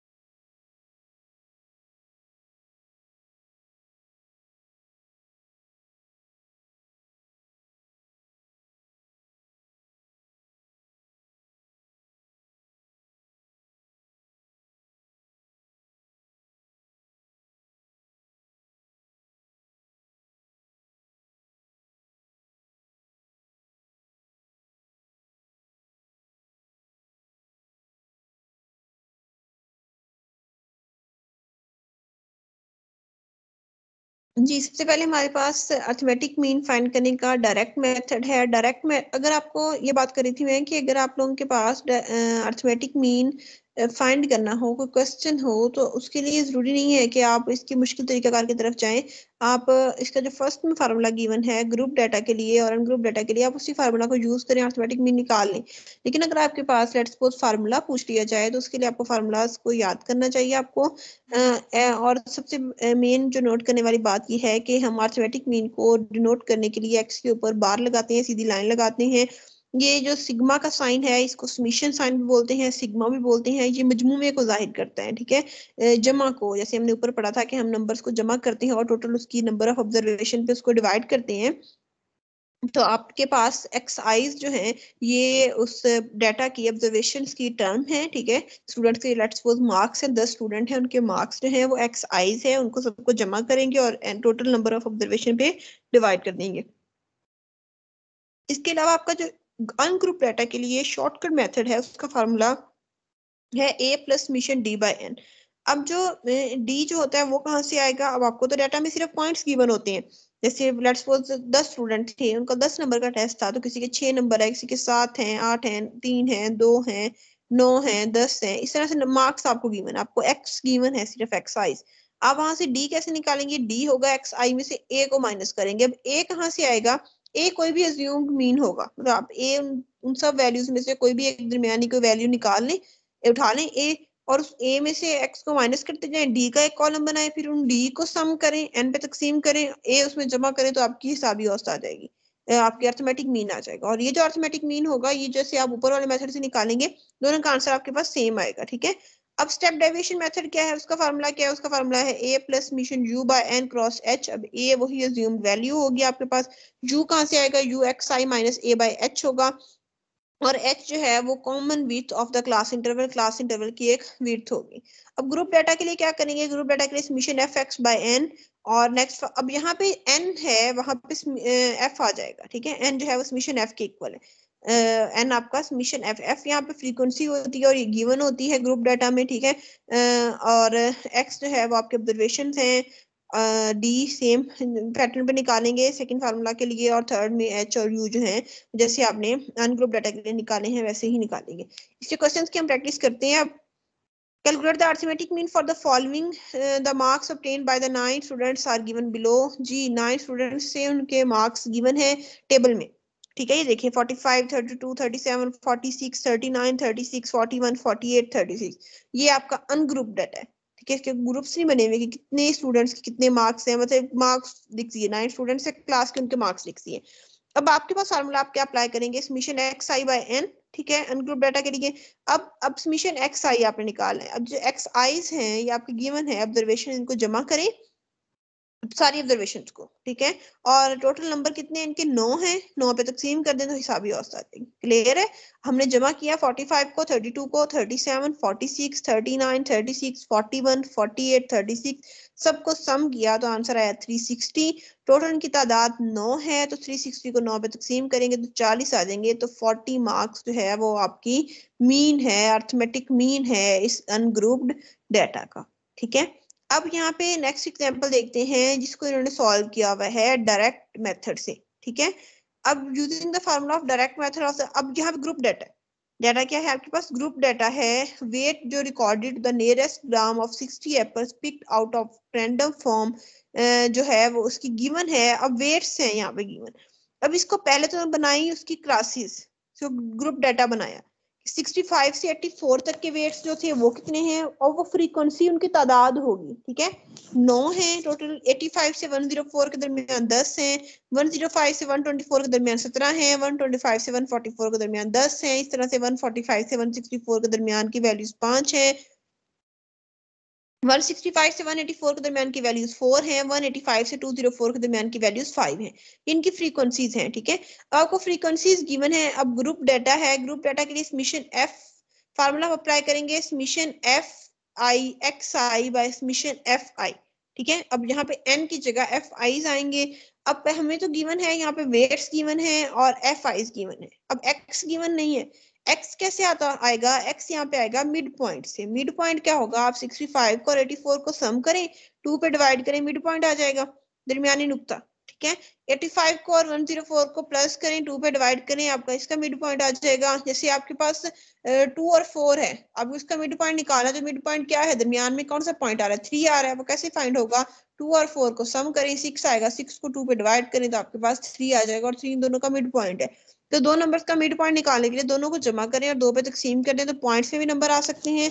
पॉइंट्स के बगैर भी आ सकते हैं या आपके पास इसके आ जाएँगे मिड पॉइंट्स फ्रीक्वेंसीज आपको गिवन थी। अब आपको फार्मूला याद होना चाहिए पहले, फिर उस फार्मूले के अकॉर्डिंगली जो जो चीज़ें चाहिए, वो फाइंड आउट कर लेंगे। अब एफ़ आई एक्स आई चाहिए हमें। एफ़ वन क्या है? नाइन और इसको एक्स से जरा दे दें, फिर दस को नाइनटी फोर पॉइंट फाइव से मल्टीप्लाई करें सेवनटीन को one one four point five से मल्टीप्लाई करें टेन को one thirty four point five से इस तरह से इनको मल्टीप्लाई करते जाएँगे तो अब आप इनको सम करेंगे तो summation F I X I आपके पास फाइंड हो जाएगा, और फार्मूले में हमें और समीशन एफ़ आई चाहिए समीशन एफ़ आई वाले कॉलम को प्लस करें सम अप करें तो समीशन एफ़ आई आ जाएगा, दोनों को डिवाइड करेंगे तो हिसाबी औस्त आ जाएगी अर्थमेटिक मीन आ जाएगा। ठीक है? ये है ग्रुप डाटा के लिए। अब अगर आपको ग्रुप डाटा गिवन है तो आप इसी फार्मूला को यूज़ करके वैल्यू निकालेंगे। अनग्रुप डाटा गिवन है तो जब हमने ऊपर फार्मूला यूज़ किया था, उस फार्मूला को यूज़ करके आप वैल्यू निकालेंगे। ये आपकी शॉर्टेस्ट तरीकाकार है, निकालने का इजीएस्ट वे ठीक है? अर्थमेटिक मीन निकालने का। बाकी फार्मूलाज जो हैं, ये आपको याद होने चाहिए। अब इसका नाम शॉर्टकट मेथड है अर्थमेटिक मीन निकालने का but it's not a short way ठीक है? ये फार्मूला भी आप याद करेंगे ग्रुप डाटा के लिए। फार्मूलाज आप सारे इसके याद करेंगे जो आपके हमारे ऊपर टेबल में गिवन थे। बाकी अगर आपको अर्थमेटिक मीन फाइंड करनी है, सिर्फ़ आंसर निकालना है तो वो आप जो सिंपलेस्ट फार्मूलाज हैं फ़र्स्ट में स्टार्टिंग में गिवन थे, उन्हीं को यूज़ करेंगे और अर्थमेटिक मीन फाइंड आउट कर लेंगे। जी नेक्स्ट है आपके पास properties of arithmetic mean arithmetic mean की कुछ प्रॉपर्टीज़ हैं। प्रॉपर्टीज़ की क्या है कि the following are the properties of arithmetic mean या अर्थमेटिक मीन की प्रॉपर्टीज़ हैं। Mean of a constant is that constant अब कांस्टेंट जो है उसका मीन आपके पास अर्थमेटिक मीन अगर आप निकाल रहे हैं कांस्टेंट वैल्यूज़ का तो वो वही कांस्टेंट आएगा। इसका क्या मतलब है कि अगर आपके पास दस स्टूडेंट के दस ही नंबर है दस नंबर दस दस स्टूडेंट्स थे और उनके नंबर सबके बराबर आ गए। लेट्स सपोज़ सबके नंबर पचास आ गए। तो उनका अर्थमेटिक मीन आपको निकालने की ज़रूरत नहीं है। वो उस डाटा को देख के पता चलेगा कि इसका अर्थमेटिक मीन फिफ्टी ही है। तो अगर वैल्यू सेम आ गई, सारी वैल्यू सेम है, एक नंबर आ रहा है तो वही नंबर उस डाटा का अर्थमेटिक मीन भी कहलाएगा। सेकेंड प्रॉपर्टीज़ की ये है कि sum of deviation from the mean अगर आपने किसी भी ऑब्जर्वेशन जो थी गिवन थी, उनका मीन निकाल लिया अब आप हर वैल्यू को उस मीन में से माइनस कर रहे हैं और उसका सम ले तो वो हमेशा ज़ीरो आएगा। ये बहुत इंपॉर्टेंट प्रॉपर्टी है कि सम ऑफ़ डेविएशन डेविएशन का मतलब होता है उससे, उस वैल्यू से कितना वैल्यू हटी है मतलब माइनस करना उसमें से, ठीक है? तो अब वैल्यू जो है उसका मीन से डेविएशन ले, सारी वैल्यूज़ का, सारी ऑब्जर्वेशन का, उनका सम ले तो हमेशा ज़ीरो आएगा, ठीक है? अगर जैसे आपको यहाँ पे वैल्यू हमने क्वेश्चन किया था फ़र्स्ट में ये वाला, इसमें देखिए, अगर आपके पास मीन था 360 अब आप इन सारी वैल्यूज़ में से थ्री सॉरी मीन है 40 अब आप एक्स आईज में से 40 कर दें माइनस ठीक है?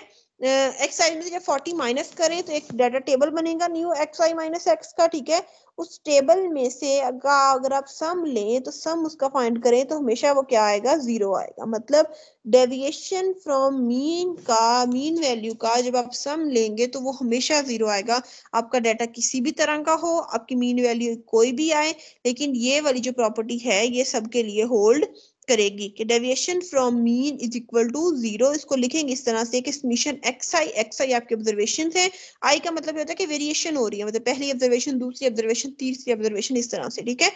और एक्स आई एक्स डैश आपका मीन है। मीन में से जब इसको माइनस करेंगे तो हमेशा वैल्यू ज़ीरो आएगी।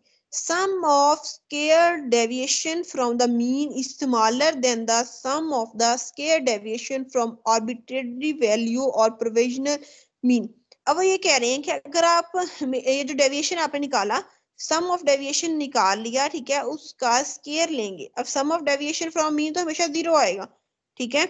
और sum of deviation of from mean जो है वो हमेशा स्मॉलर uh, होगा किसी भी और वैल्यू से अगर डेविएशन फाइंड करें। मतलब आप मीन को माइनस करने के बजाय किसी भी और वैल्यू को ऑब्जर्वेशन को माइनस करें और उसका लें सम स्केयर लें, फिर उसका सम लें तो वो लेस देन होगा। अब यहाँ पे देखें जो हमारे पास summation X I minus X bar तो ज़ीरो है।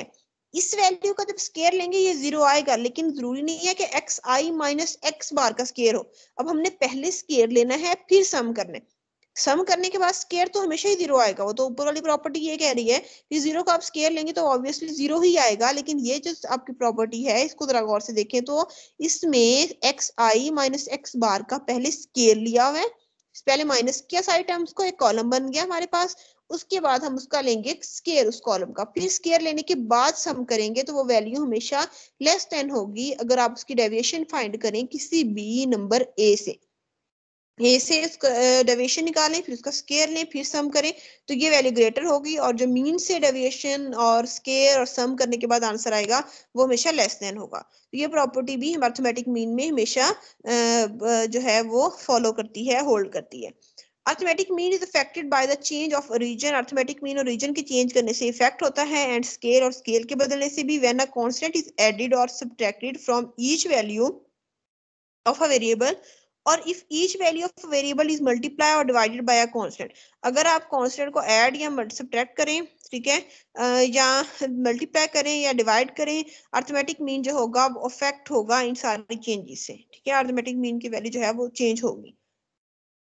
जी अर्थमेटिक मीन आई थिंक आप लोगों को क्लियर होना, हो जाना चाहिए अब तक, ठीक है। नेक्स्ट हमारे पास है ज्योमेट्रिक मीन जिसको हम लोग उर्दू में अकलीसी औस्त बोलते हैं।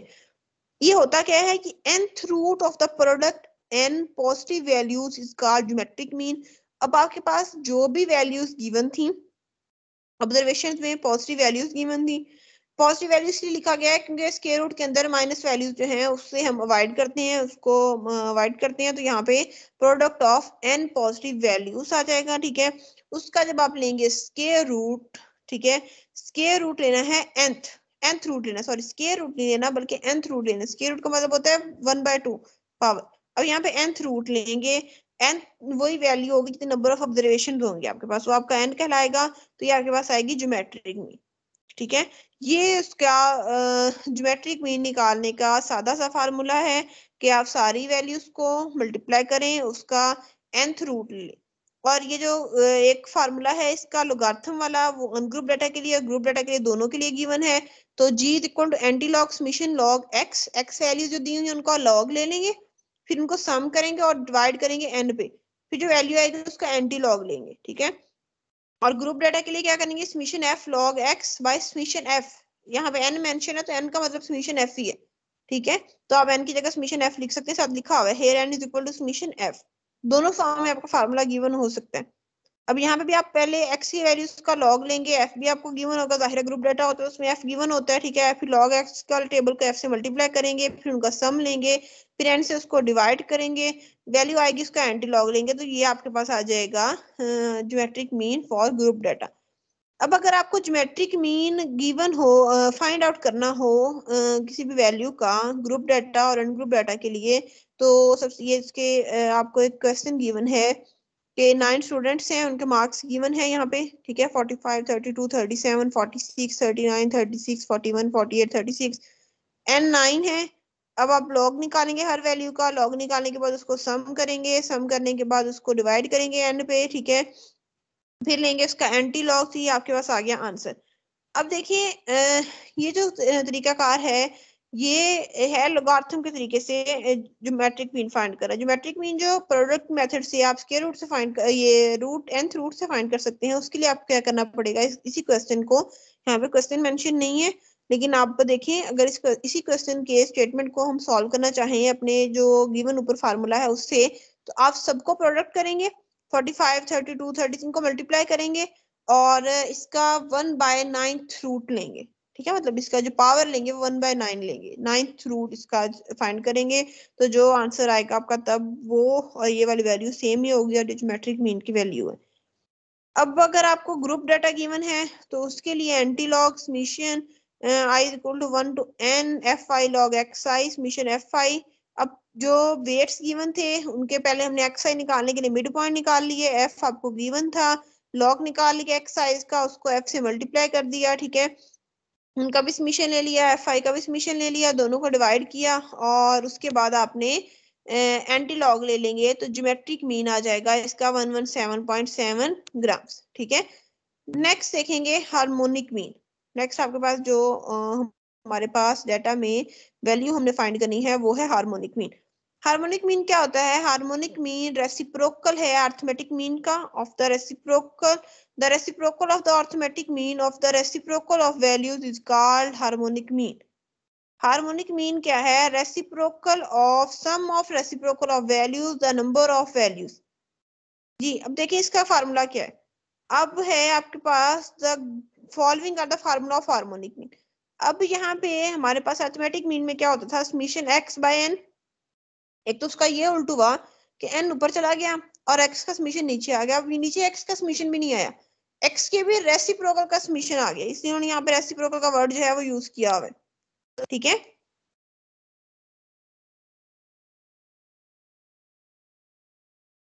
जी हार्मोनिक मीन हमारे पास क्या है? N by summation one by x one by x x हमारे पास वो टर्म्स जो हमें गिवन है ऑब्जर्वेशन ठीक है? उनका रेसिप्रोकल लेंगे। मतलब उनको वन से डिवाइड करेंगे उनका रेसिप्रोकल लेंगे तो क्या आ जाएगा? वन ओवर एक्स आ जाएगा।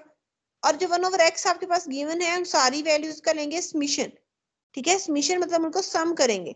और एन को एन जो नंबर ऑफ़ ऑब्जर्वेशन है, उसको डिवाइड करेंगे स्मिशन वन बाय एक्स से इसकी डेफिनेशन में देखिए, बार बार रेसिप्रोकल का जो वर्ड यूज़ किया इसका मतलब यही है। एक तो आपने वो ज्योमेट्रिक मीन वाली जो चीज़ थी, उसका रेसिप्रोकल लेना है। ठीक है रेसिप्रोकल लेना है। सम ऑफ़ वहाँ पे था हार्मोनिक मीन में था सम ऑफ़ ऑब्जर्वेशन यहाँ पे sum of reciprocal of observation by number of values जो वैल्यू आ जाएगी, इसका फिर रेसिप्रोकल लेंगे मतलब नंबर ऑफ़ वैल्यूज़ ऊपर चली जाएँगी और sum of reciprocal of values नीचे आ जाएँगे। ये फार्मूला आपको किसी भी तरीके से गिवन हो सकता है। एट द एंड उसका मतलब यही है। ये जो फार्मूला हमने फाइंड किया है equal to n divided by summation one by x x आपकी ऑब्जर्वेशन जो गिवन होती हैं आप उनको वन से डिवाइड करें तो वन बाय एक्स निकालें, फिर उनका लें सम और एन से उनको वैल्यूज़ को डिवाइड कर दें।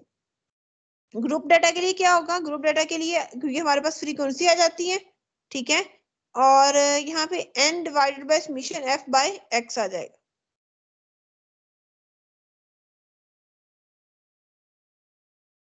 क्वेश्चन देखेंगे। पहले हमें सेम क्वेश्चन है, वही जिसकी हमने अर्थमेटिक मीन निकाली थी। और फिर हमने उसी क्वेश्चन के लिए ज्योमेट्रिक मीन निकाला, अब उसी क्वेश्चन के लिए हम अर्थमेटिक मीन निकाल रहे हैं। अब नाइन स्टूडेंट्स से उनके मार्क्स गिवन है, हमें फार्मूला क्या है? हमारे पास हार्मोनिक मीन का हार्मोनिक मीन जो है, उसे हम महंग गोस्ट बोलते हैं। एच एम का मतलब हार्मोनिक मीन है, ठीक है? अब हार्मोनिक मीन अनग्रुप डाटा के लिए फाइंड करने का फार्मूला हमें गिवन है n divided by summation one by x i n क्या है? नाइन है number of observation x i given थे 45, 32, 37, 46, 39, 36, 41, 48, 36 इनका निकाला हमने one over x i one over x i कैसे निकाला? कि हमने वन को 45 से डिवाइड किया वन को थर्टी टू से डिवाइड किया वन को थर्टी सेवन से डिवाइड किया वन को फोर्टी सिक्स से डिवाइड किया तो साथ उसकी जो वैल्यूज़ आती गई उसकी रिस्पॉन्डिंग रो में वैल्यूज़ हम मेंशन करते गए। ठीक है वन को थर्टी सिक्स से डिवाइड किया वन को फोर्टी वन से डिवाइड किया वन को फोर्टी एट से डिवाइड किया वन को थर्टी सिक्स से डिवाइड किया। ये आ गई हमारे पास values one over x size इनका लेंगे हम सम इनको करेंगे हम सम करेंगे। जब हमने इन वैल्यूज़ को सम किया तो हमारे पास आंसर आया zero point two two eight six two ठीक है? अब हमने एन नाइन थे नाइन को जो वैल्यू यहाँ पे आई है, इससे करेंगे हम डिवाइड जब हम नाइन को इससे डिवाइड करेंगे तो हमारे पास जो वैल्यू आएगी, वो हार्मोनिक मीन की होगी, हम महंग औस्त की होगी। तो ये डिवाइड करने के बाद आंसर आया हमारे पास thirty nine point three six six six three अब देखिए, यही क्वेश्चन हमने एक ही क्वेश्चन था, एक ही डाटा पॉइंट से, उनकी हमने अर्थमेटिक मीन भी निकाला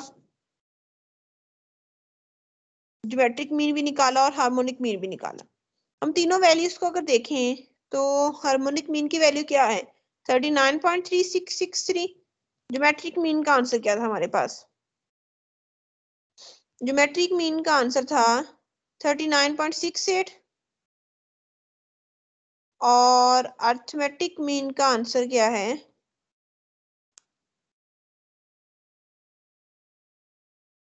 अर्थमेटिक मीन का आंसर है फोर्टी तो अर्थमेटिक मीन का आंसर सबसे बड़ा है, ठीक है? उसके बाद आपके पास है ज्योमेट्रिक और ये है हार्मोनिक। इसके बाद ज्योमेट्रिक मीन का आंसर है, फिर हार्मोनिक मीन का। तो अर्थमेटिक मीन की वैल्यू सबसे बड़ी आई है, ज्योमेट्रिक मीन की उससे छोटी और हार्मोनिक मीन की सबसे छोटी वैल्यू हमारे पास गिवन है। तो हम इसको इक्वेशन फॉर्म में लिखना चाहें तो हम लिख सकते हैं arithmetic mean greater than geometric mean and greater than harmonic mean तो हार्मोनिक मीन सबसे कम आया ज्योमेट्रिक मीन उससे बड़ा और अर्थमेटिक मीन सबसे बड़ा। ठीक है? तो ये तीन डिफरेंट मीन्स थे जो हमने निकाले। अब जो हमारे पास हार्मोनिक मीन है, उसका ग्रुप डाटा का अगर क्वेश्चन हो आपके पास, उसमें आपको फ्रीक्वेंसीज गिवन होंगी एक्स गिवन होंगे, आप फ्रीक्वेंसी को एक्स से डिवाइड करेंगे पहले, फिर उसका सम निकालेंगे समीशन एफ़ बाय एक्स आ जाएगा, और समीशन एफ़ से उसको करेंगे डिवाइड तो यहाँ पे एन की जगह समीशन एफ़ होगा तो समीशन एफ़ का जब आप डिवाइड करेंगे समीशन एफ़ बाय एक्स से तो आपके पास जो आंसर आएगा वो हार्मोनिक मीन का होगा हम औस्त होगी ग्रुप डेटा के लिए. ग्रुप डेटा में यही होता है कि हमें फ्रीक्वेंसीज गिवन होती हैं क्लासेस बनी होती हैं, उनकी रेंज बनी होती है, उसके साथ हमें फ्रीक्वेंसीज गिवन होती हैं. तो हार्मोनिक मीन ज्योमेट्रिक मीन और आ, हमारे पास अर्थमेटिक मीन तीनों के ग्रुप डाटा के लिए अनग्रुप डाटा के लिए जो फार्मूलाज हैं वो अच्छी तरह से आप लोगों को याद होने चाहिए दोनों तरीकाकार से ठीक है? और हार्मोन अर्थमेटिक मीन के जो फार्मूलाज हैं वो आ, काफ़ी सारे हैं मतलब उसमें एक तो ग्रुप और ग्रुप डाटा की डिस्ट्रीब्यूशन है दूसरा उसके अलावा उसमें आपको सिंपल तरीके से मीन निकाला हुआ है पहले फिर उसमें उसको डायरेक्ट मेथड से निकाला हुआ है ठीक है? तो दो से तीन मेथड उसमें गिवन है। तो वो सारे मेथड्स जो हैं उनके फार्मूलाज मेमोराइज होने चाहिए। क्वेश्चन सॉल्व करने का एक तरीका भी, आता हो तो वो इनफ है। मतलब क्वेश्चन हमारा उससे सॉल्व हो जाता है। नेक्स्ट है मीडियन हमने सब्जेक्टिव पेपर तो देना नहीं है, जिसमें आपको ये मेंशन किया जाएगा फलां तरीके से इसका आंसर निकालें ऑब्जेक्टिव टाइप जब आपको पेपर देना है तो उसमें आप किसी भी तरीके से जब आंसर निकालेंगे तो वो सेम आएगा। लेकिन ये है कि एमसी खुद आपसे एमसी खुद में आपसे फार्मूलाज पूछे जा सकते हैं। मीडियन देखेंगे मीडियन क्या होता है? मीडियन में सबसे इंपॉर्टेंट बात जो होती है, वो आपने अपनी ऑब्जर्वेशन को डाटा को पॉइंट्स हैं, उनको अरेंज करना होता है असेंडिंग ऑर्डर में या डिसेंडिंग ऑर्डर में। इसको उर्दू में तरतीब सऊदी या तरतीब नजूली बोलते हैं, ठीक है? असेंडिंग या डिसेंडिंग ऑर्डर में हमने अपने ऑब्जर्वेशन को सबसे पहले अरेंज करना होता है। आपके पास जो भी ऑब्जर्वेशन गिवन है, आप उनको छोटे से बड़ा की तरफ़ या बड़े से छोटे की तरफ़, पहले तरतीब में उनको लिख लें, ठीक है?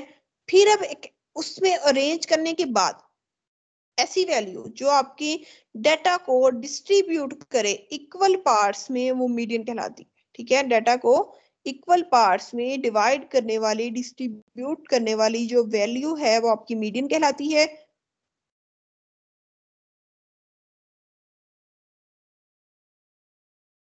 डाटा पॉइंट्स आपके पास दो तरह के होते हैं ग्रुप डाटा और अनग्रुप डाटा तो मीडियन भी ऑब्वियसली ग्रुप डाटा के लिए निकालने का और फार्मूला होगा अनग्रुप डाटा के लिए निकालने का फार्मूला डिफरेंट होगा। अब वो कह रहा है कि in this case first range observation increasing और decreasing order then we use the formula for median अगर आपके पास जो एन है नंबर ऑफ़ ऑब्जर्वेशन जो गिवन है, वो ऑड है तो मीडियन का जो फार्मूला है, वो आएगा size of n plus two th observation अब n plus two th observation का जो साइज़ है, वो आपका मीडियन कहलाएगा। अगर एन आपका ऑड है तो size of n of n by two th plus n by two th plus one observation और इसको डिवाइड करेंगे टू पे। ठीक है? ये है अगर आपका एन इवन हो, आपके नंबर ऑफ़ ऑब्जर्वेशन जो है वो इवन हो तो डिफरेंट फार्मूला यूज़ होगा मीडियन के लिए। अगर नंबर ऑफ़ ऑब्जर्वेशन आपकी ऑड हो तो मीडियन निकालने का फार्मूला डिफरेंट है।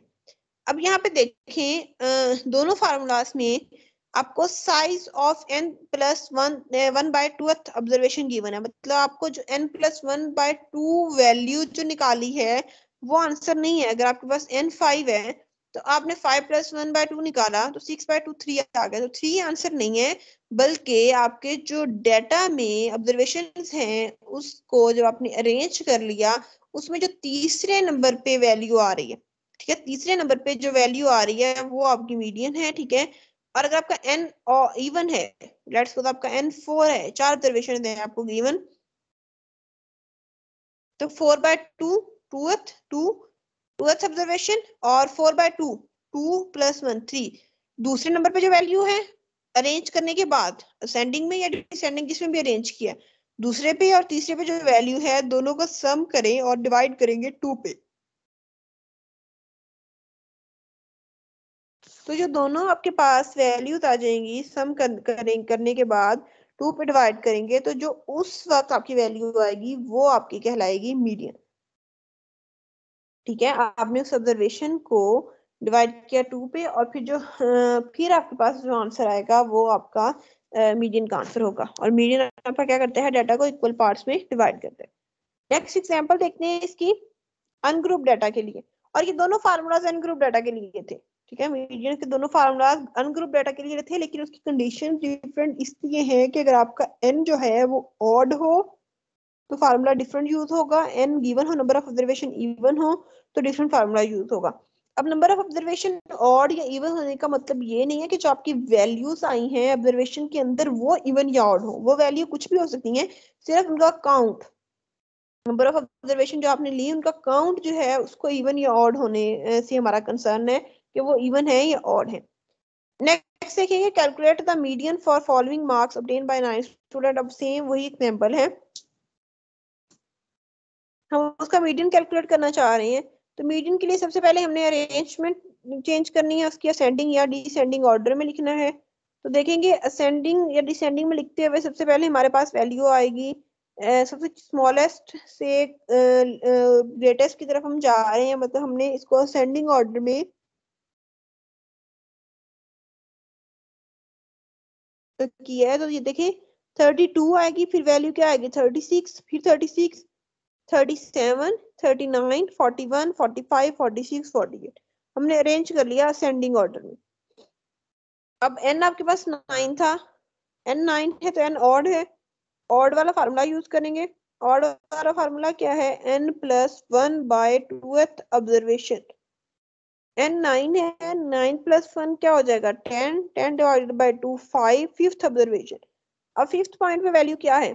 देखिए फ़र्स्ट पे थर्टी टू है, दूसरे नंबर पे थर्टी सिक्स है, तीसरे पे भी थर्टी सिक्स है, चौथे पे थर्टी सेवन है और पांचवे पे है थर्टी नाइन तो आपके पास जो मीडियन होगा, वो क्या होगा? थर्टी नाइन होगा, जो हमारी फिफ्थ ऑब्जर्वेशन पे वैल्यू है, ठीक है? नेक्स्ट अगर आपका एन इवन हो तो क्या होगा? तो मीडियन आपका आपका होगा size of n by two observation plus n by two plus one ठीक है? डिवाइडेड बाय टू जी यहाँ पे देखें टेन स्टूडेंट्स के मार्क्स गिवन है एक स्टूडेंट का इजाफा कर दिया। पहले उसको अरेंजमेंट करेंगे। सबसे मेन बात ये याद रखनी है कि अरेंज करना है डाटा को।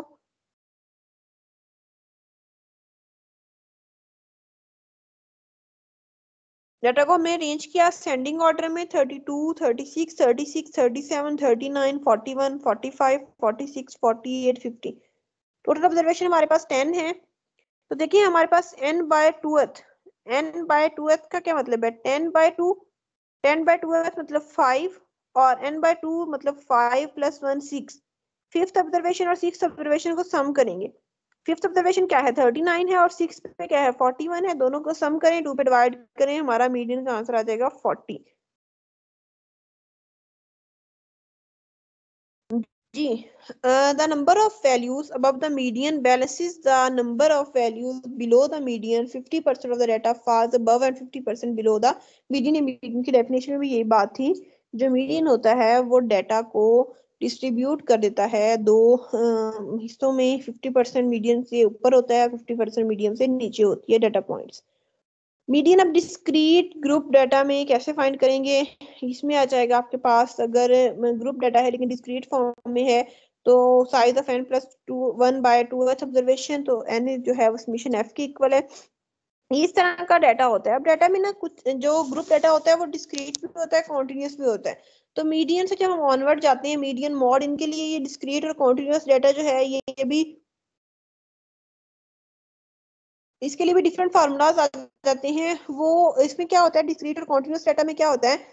देखिए, अगर आपको जैसे हमारे पास स्टूडेंट नाइन थे, ठीक है? असिस्टेंट जो थे या जो भी आपको नंबर हैं, वो ज़ीरो से नाइन तक हैं। तो अब फ़र्स्ट करें, तीन लोग जो है ना, उनके ज़ीरो नंबर आ रहे हैं। चार हैं, उनके एक नंबर आ रहा है। छह हैं, उनके दो नंबर आ रहे हैं। सात है, उनके तीन नंबर आ रहे हैं। लेट्स इस तरह से जब आपको गिवन है डिस्क्रीट फॉर्म में डाटा तो इस ये है हमारे पास एक डिस्क्रीट ग्रुप डाटा फ्रीक्वेंसी भी गिवन है साथ साथ ठीक है? और अगर आपके पास यही डाटा ऐसा होता कि ज़ीरो से पाँच तक छ से दस तक, ग्यारह से पंद्रह तक इस तरह वैल्यूज़ गिवन होती हैं तो ये कॉन्टिन्यूस फॉर्म में होता है डाटा ठीक है? तो उसके लिए फार्मूला डिफरेंट होंगे यहाँ पे। अब यहाँ पे देखिए आपके पास फार्मूला ये था कि आपने n plus one by two observation अब एन की जगह क्या लगाना है? समीशन एफ़ लगाना है, ठीक है? तो एफ़ आपको गिवन है एफ़ जब गिवन है तो उस एफ़ का सम फाइंड करें तो 50 आया। 50 क्या करेंगे? 50 प्लस वन ठीक है? 50 प्लस वन क्या आएगा? 51 बाय यहाँ पे इवन है तो है तो वाला फार्मूला यूज़ करेंगे। तो वाला फार्मूला हमारे पास है साइज़ ऑफ़ ऑब्जर्वेशन अब यहाँ पे की जगह आप समीशन लगाते जाएँगे तो 50 by two 50 by two plus one fifty by two मतलब 25 ऑब्जर्वेशन और 25 प्लस वन क्या आ जाएगा आपके पास ट्वेंटी सिक्स ऑब्जर्वेशन अब 25 और 26 ऑब्जर्वेशन है क्या? देखिए, यहाँ पे अब आपने ये देखना है, इनकी निकालनी है कॉम्युलेटिव फ्रीक्वेंसी अब देखिए, हम, यहाँ पे तो आपको नहीं मेरे पता चल रहा कि ये twenty zero one two three four इसमें ट्वेंटी फिफ्थ ऑब्जर्वेशन कौन सी है और ट्वेंटी सिक्स कौन सी है। इसके लिए निकाल होते हैं कॉम्युलेटिव फ्रीक्वेंसी कॉम्युलेटिव फ्रीक्वेंसी क्या होती है कि आपके पास ऐसे पहला पॉइंट है थ्री उसको आप ऐसे लिख देंगे, फिर नेक्स्ट जो फ्रीक्वेंसी है ना, उसको थ्री में ऐड करेंगे। Three plus four seven seven plus six thirteen फिर थर्टीन में नेक्स्ट फ्रीक्वेंसी ऐड करेंगे। Thirteen plus seven twenty twenty में नेक्स्ट ऐड करेंगे। टेन है नेक्स्ट तो थर्टी आ जाएगा। थर्टी में नेक्स्ट सिक्स ऐड करेंगे थर्टी सिक्स आ जाएगा। थर्टी सिक्स में नेक्स्ट जो वैल्यू है फाइव वो ऐड करेंगे तो फोर्टी वन आ जाएगा। फोर्टी वन में नेक्स्ट वैल्यू ऐड करेंगे फाइव है नेक्स्ट वैल्यू फोर्टी सिक्स आ जाएगा। फोर्टी सिक्स में हम लोग वैल्यू थ्री ऐड करेंगे नेक्स्ट तो फोर्टी नाइन फोर्टी नाइन में वन ऐड करेंगे तो फिफ्टी कॉम्युलेटिव फ्रीक्वेंसी का जो कॉलम होता है, उसकी लास्ट वैल्यू और समीशन एफ़ हमेशा क्या होते हैं? इक्वल होते हैं। अब हमने ऑब्जर्वेशन कौन सी लेनी थी? देखिए, हमने ऑब्जर्वेशन लेनी थी ट्वेंटी फिफ्थ वाली और ट्वेंटी सिक्स वाली। अब ये आपने यहाँ पे देखना है, अब ट्वेंटी कम्युनिटी फ्रीक्वेंसी ऊपर तक है। अब आपने नेक्स्ट वाला देखना है, जहाँ पे ट्वेंटी फाइव फिफ्थ और ट्वेंटी सिक्स लाए करती हैं तो ये ऑब्वियसली थर्टी वाले में लाए करेंगे। ऊपर से ट्वेंटी तक एंड हो जाएगा। नेक्स्ट आपका ये देखें आप कि नेक्स्ट जो वैल्यू है ना, वो ट्वेंटी वन से थर्टी तक की है। तो आपकी ट्वेंटी फिफ्थ और ट्वेंटी सिक्स जो है, वो थर्टी वाले में लाई करेंगी, ठीक है? कम्युनिटी फ्रीक्वेंसी का कॉलम हम देखेंगे। तो इसकी कोरिस्पॉन्डिंग ऑब्जर्वेशन कौन सी आ रही है? फोर आ रही है। तो ट्वेंटी सिक्स ऑब्जर्वेशन भी फोर होगी ट्वेंटी फिफ्थ ऑब्जर्वेशन भी फोर होगी। तो दोनों को में आप फोर प्लस फोर करेंगे तो ये आ जाएगा eight eight divided by two आ जाएगा फोर तो फोर आपका है मीडियन ठीक है, ये था ग्रुप डाटा लेकिन जब आपका जो डाटा है वो डिस्क्रीट हो, ठीक है? अब मीडियन निकालना है हमने कॉन्टिन्यूस ग्रुप डाटा के लिए। कॉन्टिन्यूस ग्रुप डाटा के लिए जो मीडियन निकालने का फार्मूला है, वो है in continuous group data when we are finding median we first construct the class boundary हम क्लास बाउंड्री निकालते हैं, अगर क्लासेस डिसकॉन्टिन्यूस हो then we find cumulative frequency फिर हम कॉम्बिनेटिव फ्रीक्वेंसी निकालते हैं, फिर हम ये स्टेप्स करते हैं, हम डिटरमाइन करते हैं मीडियन क्लास मीडियन क्लास कैसे निकालते हैं? मीडियन क्लास निकालने के लिए हम एन को जो नंबर ऑफ़ ऑब्जर्वेशन है, उसको करते हैं टू पे डिवाइड ग्रुप डाटा में एन किस इक्वल होगा? समीशन एफ़ के, उसको करेंगे टू पे डिवाइड तो जहाँ पे वो वैल्यू आएगी, वो आपकी मीडियन क्लास होगी. When the median class is determined and the following formula is used to find the value of median. तो ये फार्मूला यूज़ करते हैं, ये फार्मूला आपको याद होना चाहिए. L plus H by F bracket N by two minus C. अब N यहाँ पे समीशन F है. ठीक है एल क्या है आपके पास? Lower class boundary of the medium class L जो है लोअर क्लास बाउंड्री है। एच जो, है वो विथ है मीडियम क्लास की ठीक है। एफ़ फ्रीक्वेंसी है मीडियम क्लास की। सी जो है वो कम्युनिटी फ्रीक्वेंसी है क्लास की प्रोसीडिंग द मीडियम क्लास सबसे पहले हमने एन बाय टू तरीके से एन बाय टू से हमने मीडियम क्लास डिटरमाइन करनी है। उसके बाद एल जो है वो आपकी मीडियम क्लास की लोअर क्लास बाउंड्री होगी ठीक है। और एच आपकी विर्थ होगी मीडियम क्लास की एफ़ फ्रीक्वेंसी होगी और सी जो है वो कॉम्बिनेटिव फ्रीक्वेंसी होगी। अब इनमें से एक तो आपको ये फार्मूला याद होना चाहिए, बाकी आपसे ये फार्मूला गिवन आपको दिया जा सकता है और इसमें आपसे पूछा जा सकता है कि लेट्स सपोज़ कि एल किस चीज़ को डिनोट करता है एफ़ क्या है एच क्या है, ठीक है? सी क्या है? तो ये सारी चीज़ें जो है आपको पता होनी चाहिए कि हमारे फार्मूला में किस चीज़ को डिनोट करेंगे। क्वेश्चन इससे रिलेटेड हम नहीं करेंगे, क्योंकि बहुत लेंथी क्वेश्चन है एमसीक्यूज में इतना लेंथी क्वेश्चन जो है वो अवॉइड किए जाते हैं, नहीं आते। क्वार्टाइल्स है नेक्स्ट मीडियन के बाद हमारे पास है क्वार्टाइल्स क्वार्टाइल्स क्या है? Quartiles when the observation are arranged in increasing order then the value that divide the whole data a median हमारा data को two equal parts में divide कर रहा था 50% जो है वो above the median होगा और 50% below the median quartiles क्या करते हैं quartiles हमारे arrangements जो observations हैं uh, increasing या decreasing order में जो arrange किया होती हैं हमने values उनको four equal parts में divide करते हैं these values are denoted by q1 ये जो वैल्यूज़ होती हैं इनको Q1 से क्वार्टाइल वन को Q1 से क्वार्टाइल टू को Q2 से क्वार्टाइल थ्री को Q3 से डिनोट करते हैं। It is to be noted that 25 percent of the data falls below Q1 fifty percent data Q1 से नीचे होता है fifty percent twenty five percent fifty percent जो होता है वो डाटा फॉल करता है बिलो Q2 Q2 से नीचे, ठीक है? और 75 percent of the data fall below Q3 और 75 परसेंट डाटा Q3 से नीचे जो है वो लाई करता है, ठीक है? नेक्स्ट है डी साइज़ डी साइज़ क्या होते हैं? When observation are range increasing इसमें सब मीडियन में क्वार्टाइल्स में डिसाइल्स में परसेंटाइल्स में, सबसे मेन बात यही होती है कि आपका डाटा जो है, सबसे पहले वो अरेंज फॉर्म में हो। वो इंक्रीजिंग हो या डिक्रीजिंग हो? असेंडिंग ऑर्डर हो या डिसेंडिंग ऑर्डर हो? डाटा अरेंज फॉर्म में होना चाहिए सबसे पहले तो। When observation are arranged in increasing order, then the value that divides the whole data into 10 equal parts whole data को जो वैल्यू टेन इक्वल पार्ट में डिवाइड करती है, वो डिसाइड्स सॉरी ये डिसाइड्स है। क्वार्टाइल्स नहीं है, ये डिसाइड्स कहलाते हैं। यहाँ पे गलती से ये क्वार्टाइल्स मेंशन हुआ हुआ है तो इसको काइंडली आप नोट कीजिएगा कि ये डिसाइड्स होते हैं। These values are noted by d1 d2 up to d9 it is to be noted that 10% data जो है, वो फॉल करता है। D1 से बिलो 20% d2 से अप टू सो ऑन ठीक है? नेक्स्ट है आपके पास ये, ये बहुत इंपॉर्टेंट है कि आपका डाटा टेन परसेंट डाटा कहाँ लाइक कर रहा है ट्वेंटी परसेंट कहाँ पे होगा थर्टी परसेंट कहाँ पे होगा ठीक है? तो इस बात को भी नोट कीजिएगा। परसेंटाइल क्या है? When the observation are in when the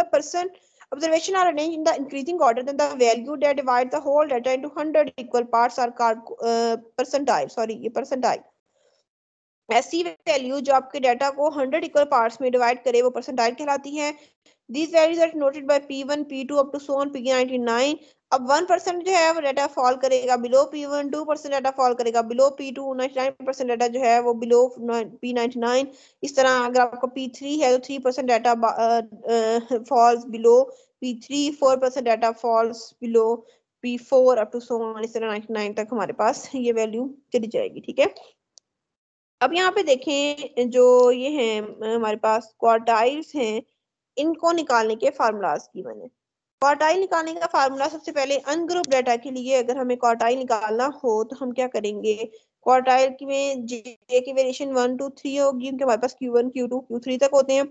formula देखें Q J is equal to size of J into N plus one by fourth observation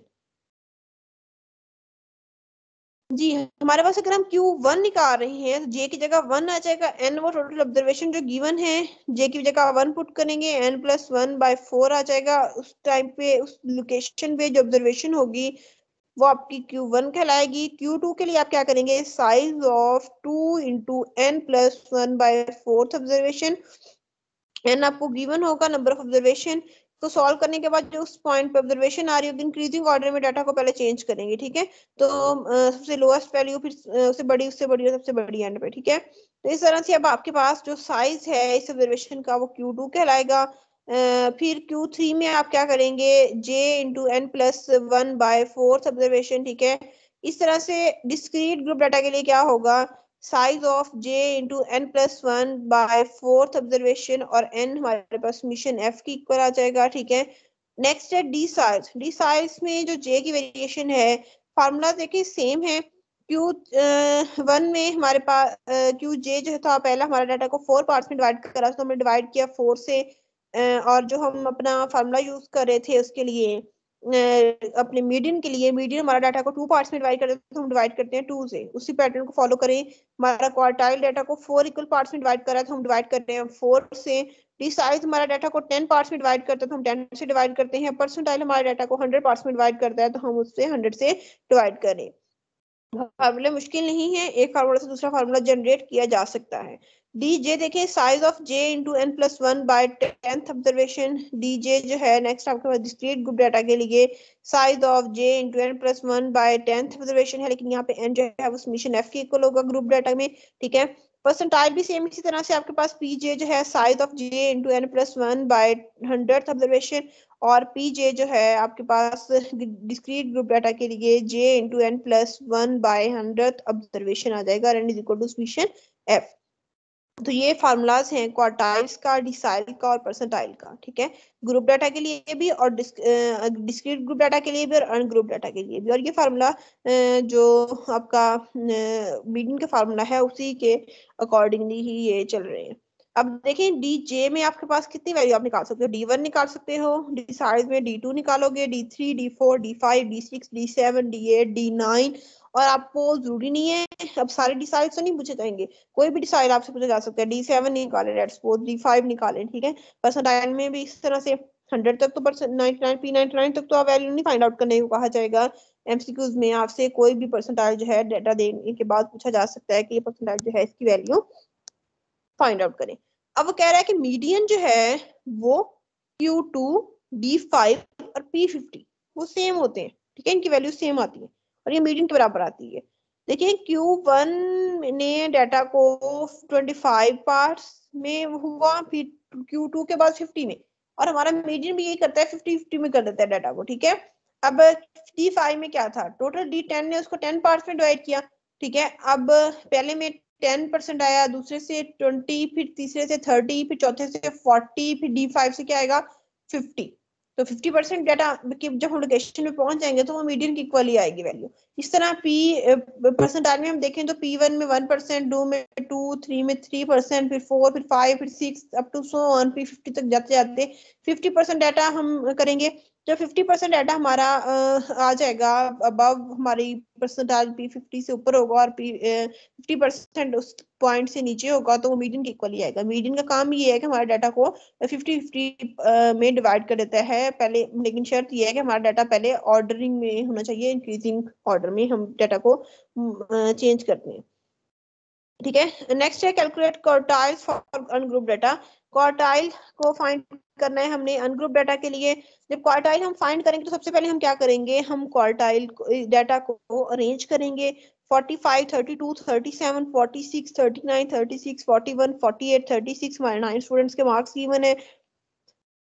इसको पहले हमने असेंडिंग ऑर्डर में चेंज किया। उसके पास एन ऑड था। तो हमने अपना जो फार्मूला था वो यूज़ किया N by four plus one student की ऑब्जर्वेशन क्वार्टाइल के लिए। क्वार्टाइल में यहाँ पे अब हमने क्यू वन निकाल लेंगे Q two Q three Q four ठीक है? क्यू थ्री तक, ठीक है? सारे क्वार्टाइल फाइंड करेंगे। तो यहाँ पे क्यू वन फाइंड किया हुआ बाकी आप फाइंड आउट कर सकते हैं क्यू टू भी क्यू थ्री भी, ठीक है? नेक्स्ट देखेंगे डिसाइल फाइंड किया करना है सन ग्रुप के लिए। हम यहाँ पे एक डिसाइल जो है D four D four find किया हुआ है, ठीक है? इस तरह से आप जो आपको डिसाइड फाइंड करना हो, वो आप डिसाइड जो है उसको फाइंड कर सकते हैं। तो ये आपके फार्मूलाज गिवन हैं। फार्मूलाज में आप वैल्यूज़ पुट करेंगे। फार्मूला में उसके बाद आपकी जो कैलकुलेशन है, वो सिंपल है और उस कैलकुलेशन करने के बाद डिसाइड जो है वो फाइंड कर सकते हैं। नेक्स्ट आपके पास है परसेंटाइल फाइंड करना है हमने ठीक है? परसेंटाइल के लिए हम फार्मूला यूज़ करेंगे। परसेंटाइल का और उसके बाद हम लोग परसेंटाइल का फार्मूला अप्लाई करने के बाद इसको इजीली सॉल्व आउट कर सकते हैं। जी हमारे पास एन जो है वो नाइन है तो हम लोग ऑड ऑड वैल्यूज़ के लिए जो फार्मूला हम यूज़ कर, करते हैं अपने मीडियन में मीडियन के फॉर्म में उसी में हम सिर्फ़ वहाँ पे जे मेंशन कर देंगे। हमने पी सिक्सटी एट निकाला है और डिवाइड करेंगे हंड्रेड से टू पे डिवाइड करने के बजाय ठीक है? और सम करेंगे वन से तो हमारे पास जो वैल्यू है, वो फाइंड आउट हो जाएगी। और इस वैल्यू से हम अपना पी सिक्सटी एट फाइंड कर सकते हैं।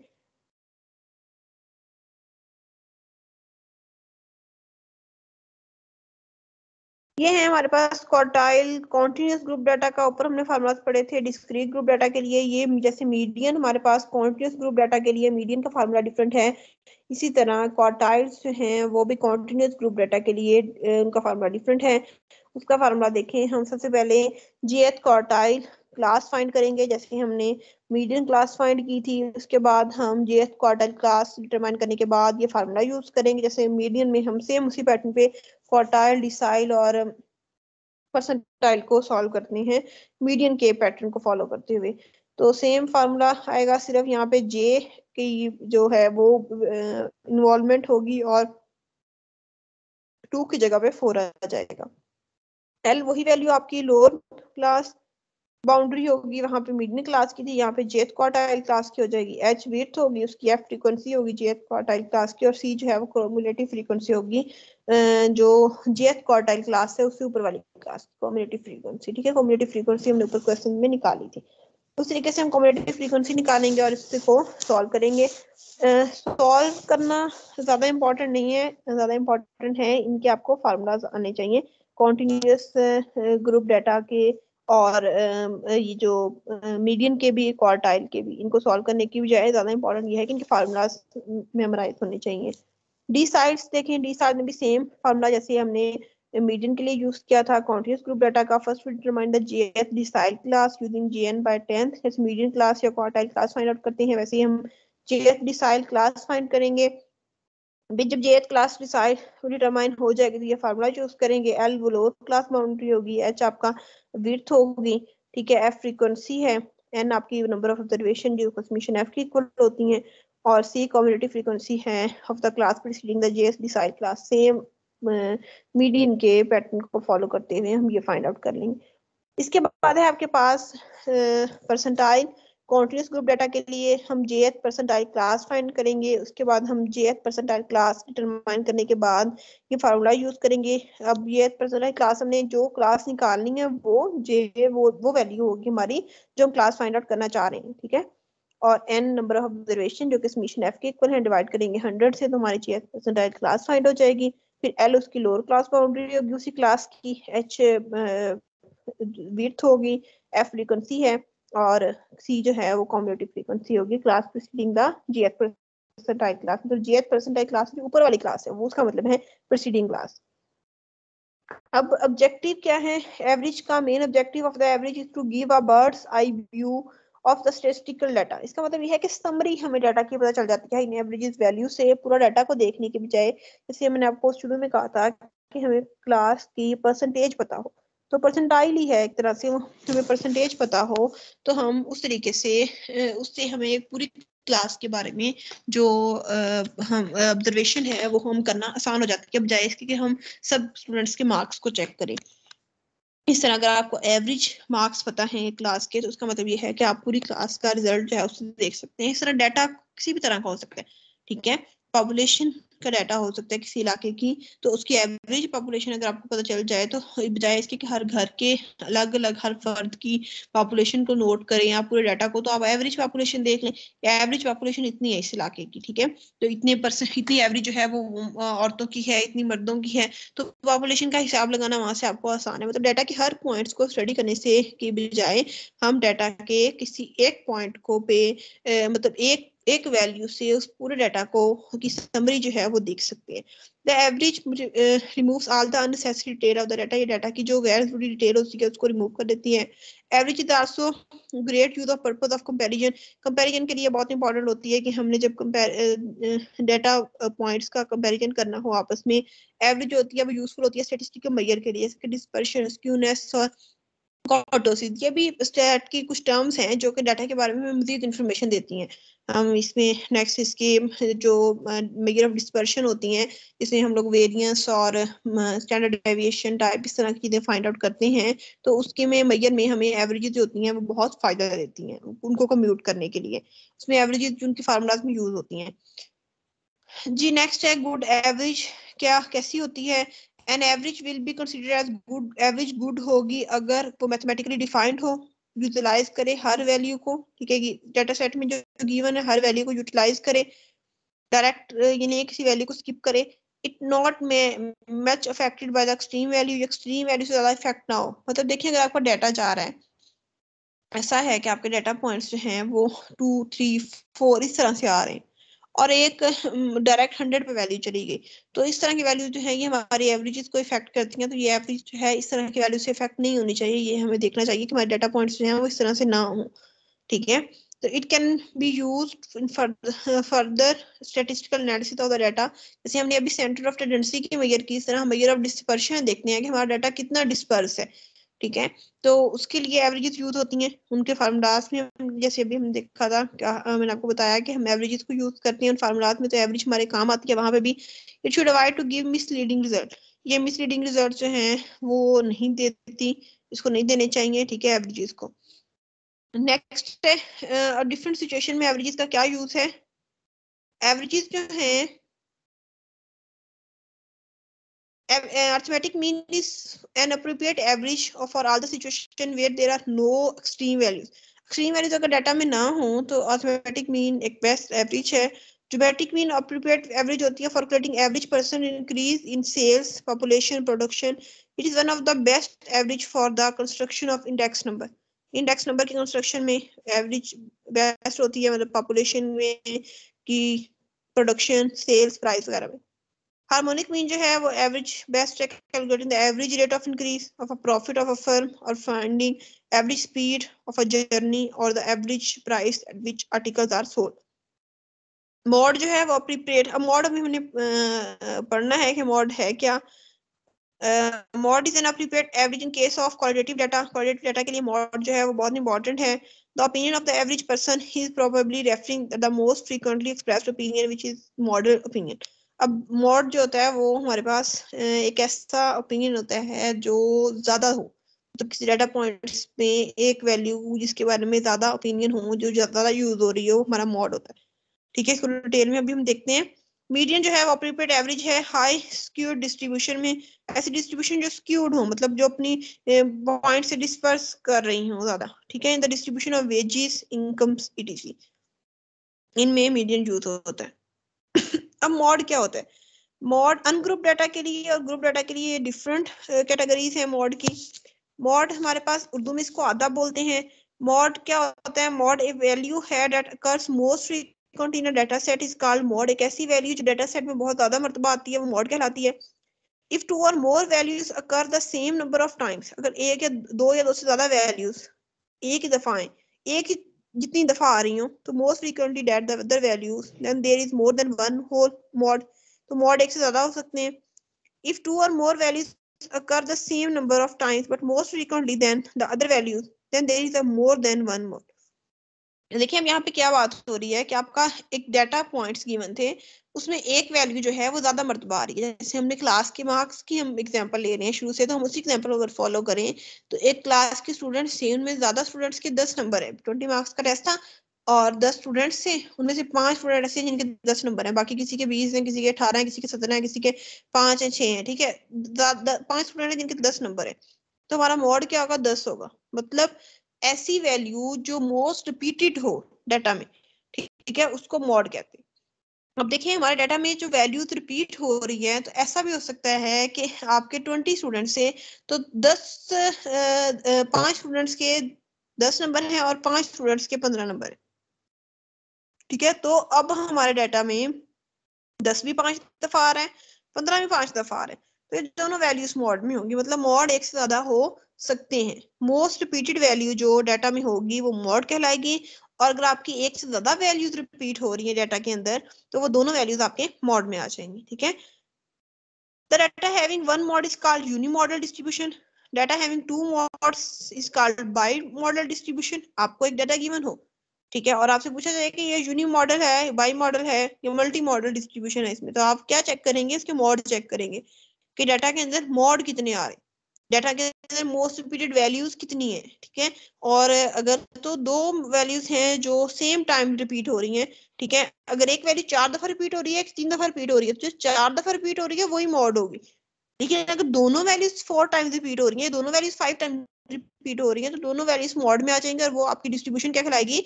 बाई मॉडल डिस्ट्रीब्यूशन कहलाएगी। अगर एक ही वैल्यू है जो ज़्यादा दफ़ा आ रही है मतलब आपका मॉड के आंसर में एक ही नंबर आ रहा है तो आपका जो डाटा होगा वो यूनि मॉडल होगा। अगर डाटा के अंदर दो से ज़्यादा मोड्स हैं मतलब तो दो से ज़्यादा वैल्यूज़ हैं, वो सेम टाइम रिपीट हो रही हैं तो आपका डाटा जो है, उसकी डिस्ट्रीब्यूशन क्या कहलाएगी? मल्टी मॉडल डिस्ट्रीब्यूशन कहलाएगा डाटा आपका, ठीक है? अब मॉड अनग्रुप डाटा के लिए, और तो हम फार्मूलाज का कोई नहीं है अनग्रुप डाटा के लिए। अनग्रुप डाटा के लिए क्या है कि आपकी जो मोस्ट रिपीटेड वैल्यू है डाटा के अंदर, वो आपका मॉड कहलाएगी। जैसे यहाँ पे हमें गिवन है, देखें two three eight four six three two five three इसमें टू देखिए कितनी दफ़ा आ रहा है। दो दफ़ा, ठीक है? थ्री कितनी दफ़ा आ रहा है? तीन दफ़ा एट एक दफ़ा फोर भी एक दफ़ा सिक्स भी एक दफ़ा फाइव भी एक दफ़ा। तो तीन जो है वो तीन दफ़ा आ रहा है तो मॉड आपका थ्री है और ये यूनी मॉडल डिस्ट्रीब्यूशन है, ठीक है? अब मॉड डिस्क्रीट ग्रुप डाटा के लिए कैसे फाइंड करते हैं? डिस्क्रीट डाटा है, लेकिन ग्रुप डाटा है, ठीक है? तो इसमें आपको नंबर ऑफ़ सिस्टम जैसे यहाँ पे गिवन है एफ़ गिवन है तो अब आप ये देखेंगे कि फ्रीक्वेंसी किसकी ज़्यादा है? फोर की फ्रीक्वेंसी ज़्यादा है ज़ीरो की फ्रीक्वेंसी तीन है। मतलब ज़ीरो इसका इसका मतलब ये होता है कि ज़ीरो तीन दफ़ा है डाटा में वन फोर दफ़ा है फोर टाइम्स है टू जो है सिक्स टाइम्स है तीन सेवन टाइम्स है फोर आपका टेन टाइम्स है फाइव सिक्स टाइम्स है सिक्स आपका फाइव टाइम्स है सेवन आपका फाइव टाइम्स है एट थ्री टाइम्स है नाइन वन टाइम है। तो फोर टेन टाइम्स है। तो फोर जो है, इस वैल्यू में, इस डाटा सेट में आपके पास क्या कहलाएगा? मॉड कहलाएगा, ठीक है? अब जो मॉड की ये था आपके पास फार्मूला इसकी मॉड हमने कैलकुलेट करना है डिस्क्रीट ग्रुप डाटा के लिए ठीक है? तो उसका ये तरीका कार है? नेक्स्ट हमारे पास है मेजर ऑफ़ लोकेशन मॉड का यहाँ पे uh, हमारे पास ग्रुप uh, डाटा जो कॉन्टिन्यूस है कॉन्टिन्यूस ग्रुप डाटा के लिए uh, वो फार्मूला यहाँ पे मिसिंग है। उस फार्मूला को uh, मैं आपको सेंड कर दूँगी वो फार्मूला भी उस फार्मूला को भी मेमोराइज कीजिएगा। What is the measure of location measure of location क्या है what is the purpose served by it what are its desirable qualities measure of location क्या होती है a central value that represent the whole data is called an average since average is the value usually somewhere in the center and represent the entire data set therefore it is called measure of central tendency ये जो measure of location या measure of centre tendency है ये हमारे data की mean values के बारे में बताती है हमें कि डाटा की मीन वैल्यू क्या है? Measure of centre tendency indicates the location of the general position of the data ये डाटा की जनरल पोजीशन को लोकेट करती है on the X X therefore is known as measure of location और position इसे measure of location या position भी कहते हैं। अब जो हमारे पर्पसेस हैं और गुड एवरेज एवरेज है उसका आ, उसकी क्या क्वालिटीज होनी चाहिए? गुड एवरेज की। एवरेज जो है वो गुड होती है अगर डिफाइंड हो वो और वैल्यूज़ यूटिलाइज करती है आई थिंक रेपिटेशन है इसमें ये हम पहले कर चुके हैं इसकी। ठीक है? अपने जो एवरेज गुड एवरेज की क्वालिटीज क्या होनी चाहिए और एवरेज का पर्पस क्या है? तो ये थी हमारी आज का मैथमेटिक्स का टॉपिक बहुत इंपॉर्टेंट फार्मूलाज हैं इसमें, इसकी कैलकुलेशन हैं। कैलकुलेशन जो हैं वो आपको स्मॉल डाटा जो है अनग्रुप डाटा उसके लिए कैलकुलेशन लाजमी आनी चाहिए, क्योंकि बहुत छोटे क्वेश्चंस एमसीक्यूज में मोस्ट रिपीटेडली पूछे जाते हैं, ठीक है? और फार्मूलाज आपको इनके ग्रुप डाटा के लिए भी याद होने चाहिए। ग्रुप डाटा के लिए भी अगर फार्मूला में जो वैल्यूज़ हैं, वो क्या इंडिकेट कर रही हैं, ये बात भी नोन होनी चाहिए। तो इनके मेजर ऑफ़ सेंटर टेंडेंसीज की जो हैं, सारे इनके नेम इनके फार्मूलाज इनकी यूजेस क्या हैं तो ये सारी चीज़ें आपको डिटेल में पता होनी चाहिए। और अगर आपका इससे रिलेटेड कोई क्वेश्चन है मैथ या फिजिक्स से तो आप पूछ सकते हैं। अभी हमारे लेक्चर में टाइम है। फोर मिनट्स हैं लेक्चर एंड होने में। तो काइंडली आप क्वेश्चन पूछें, अगर कोई इशू है तो।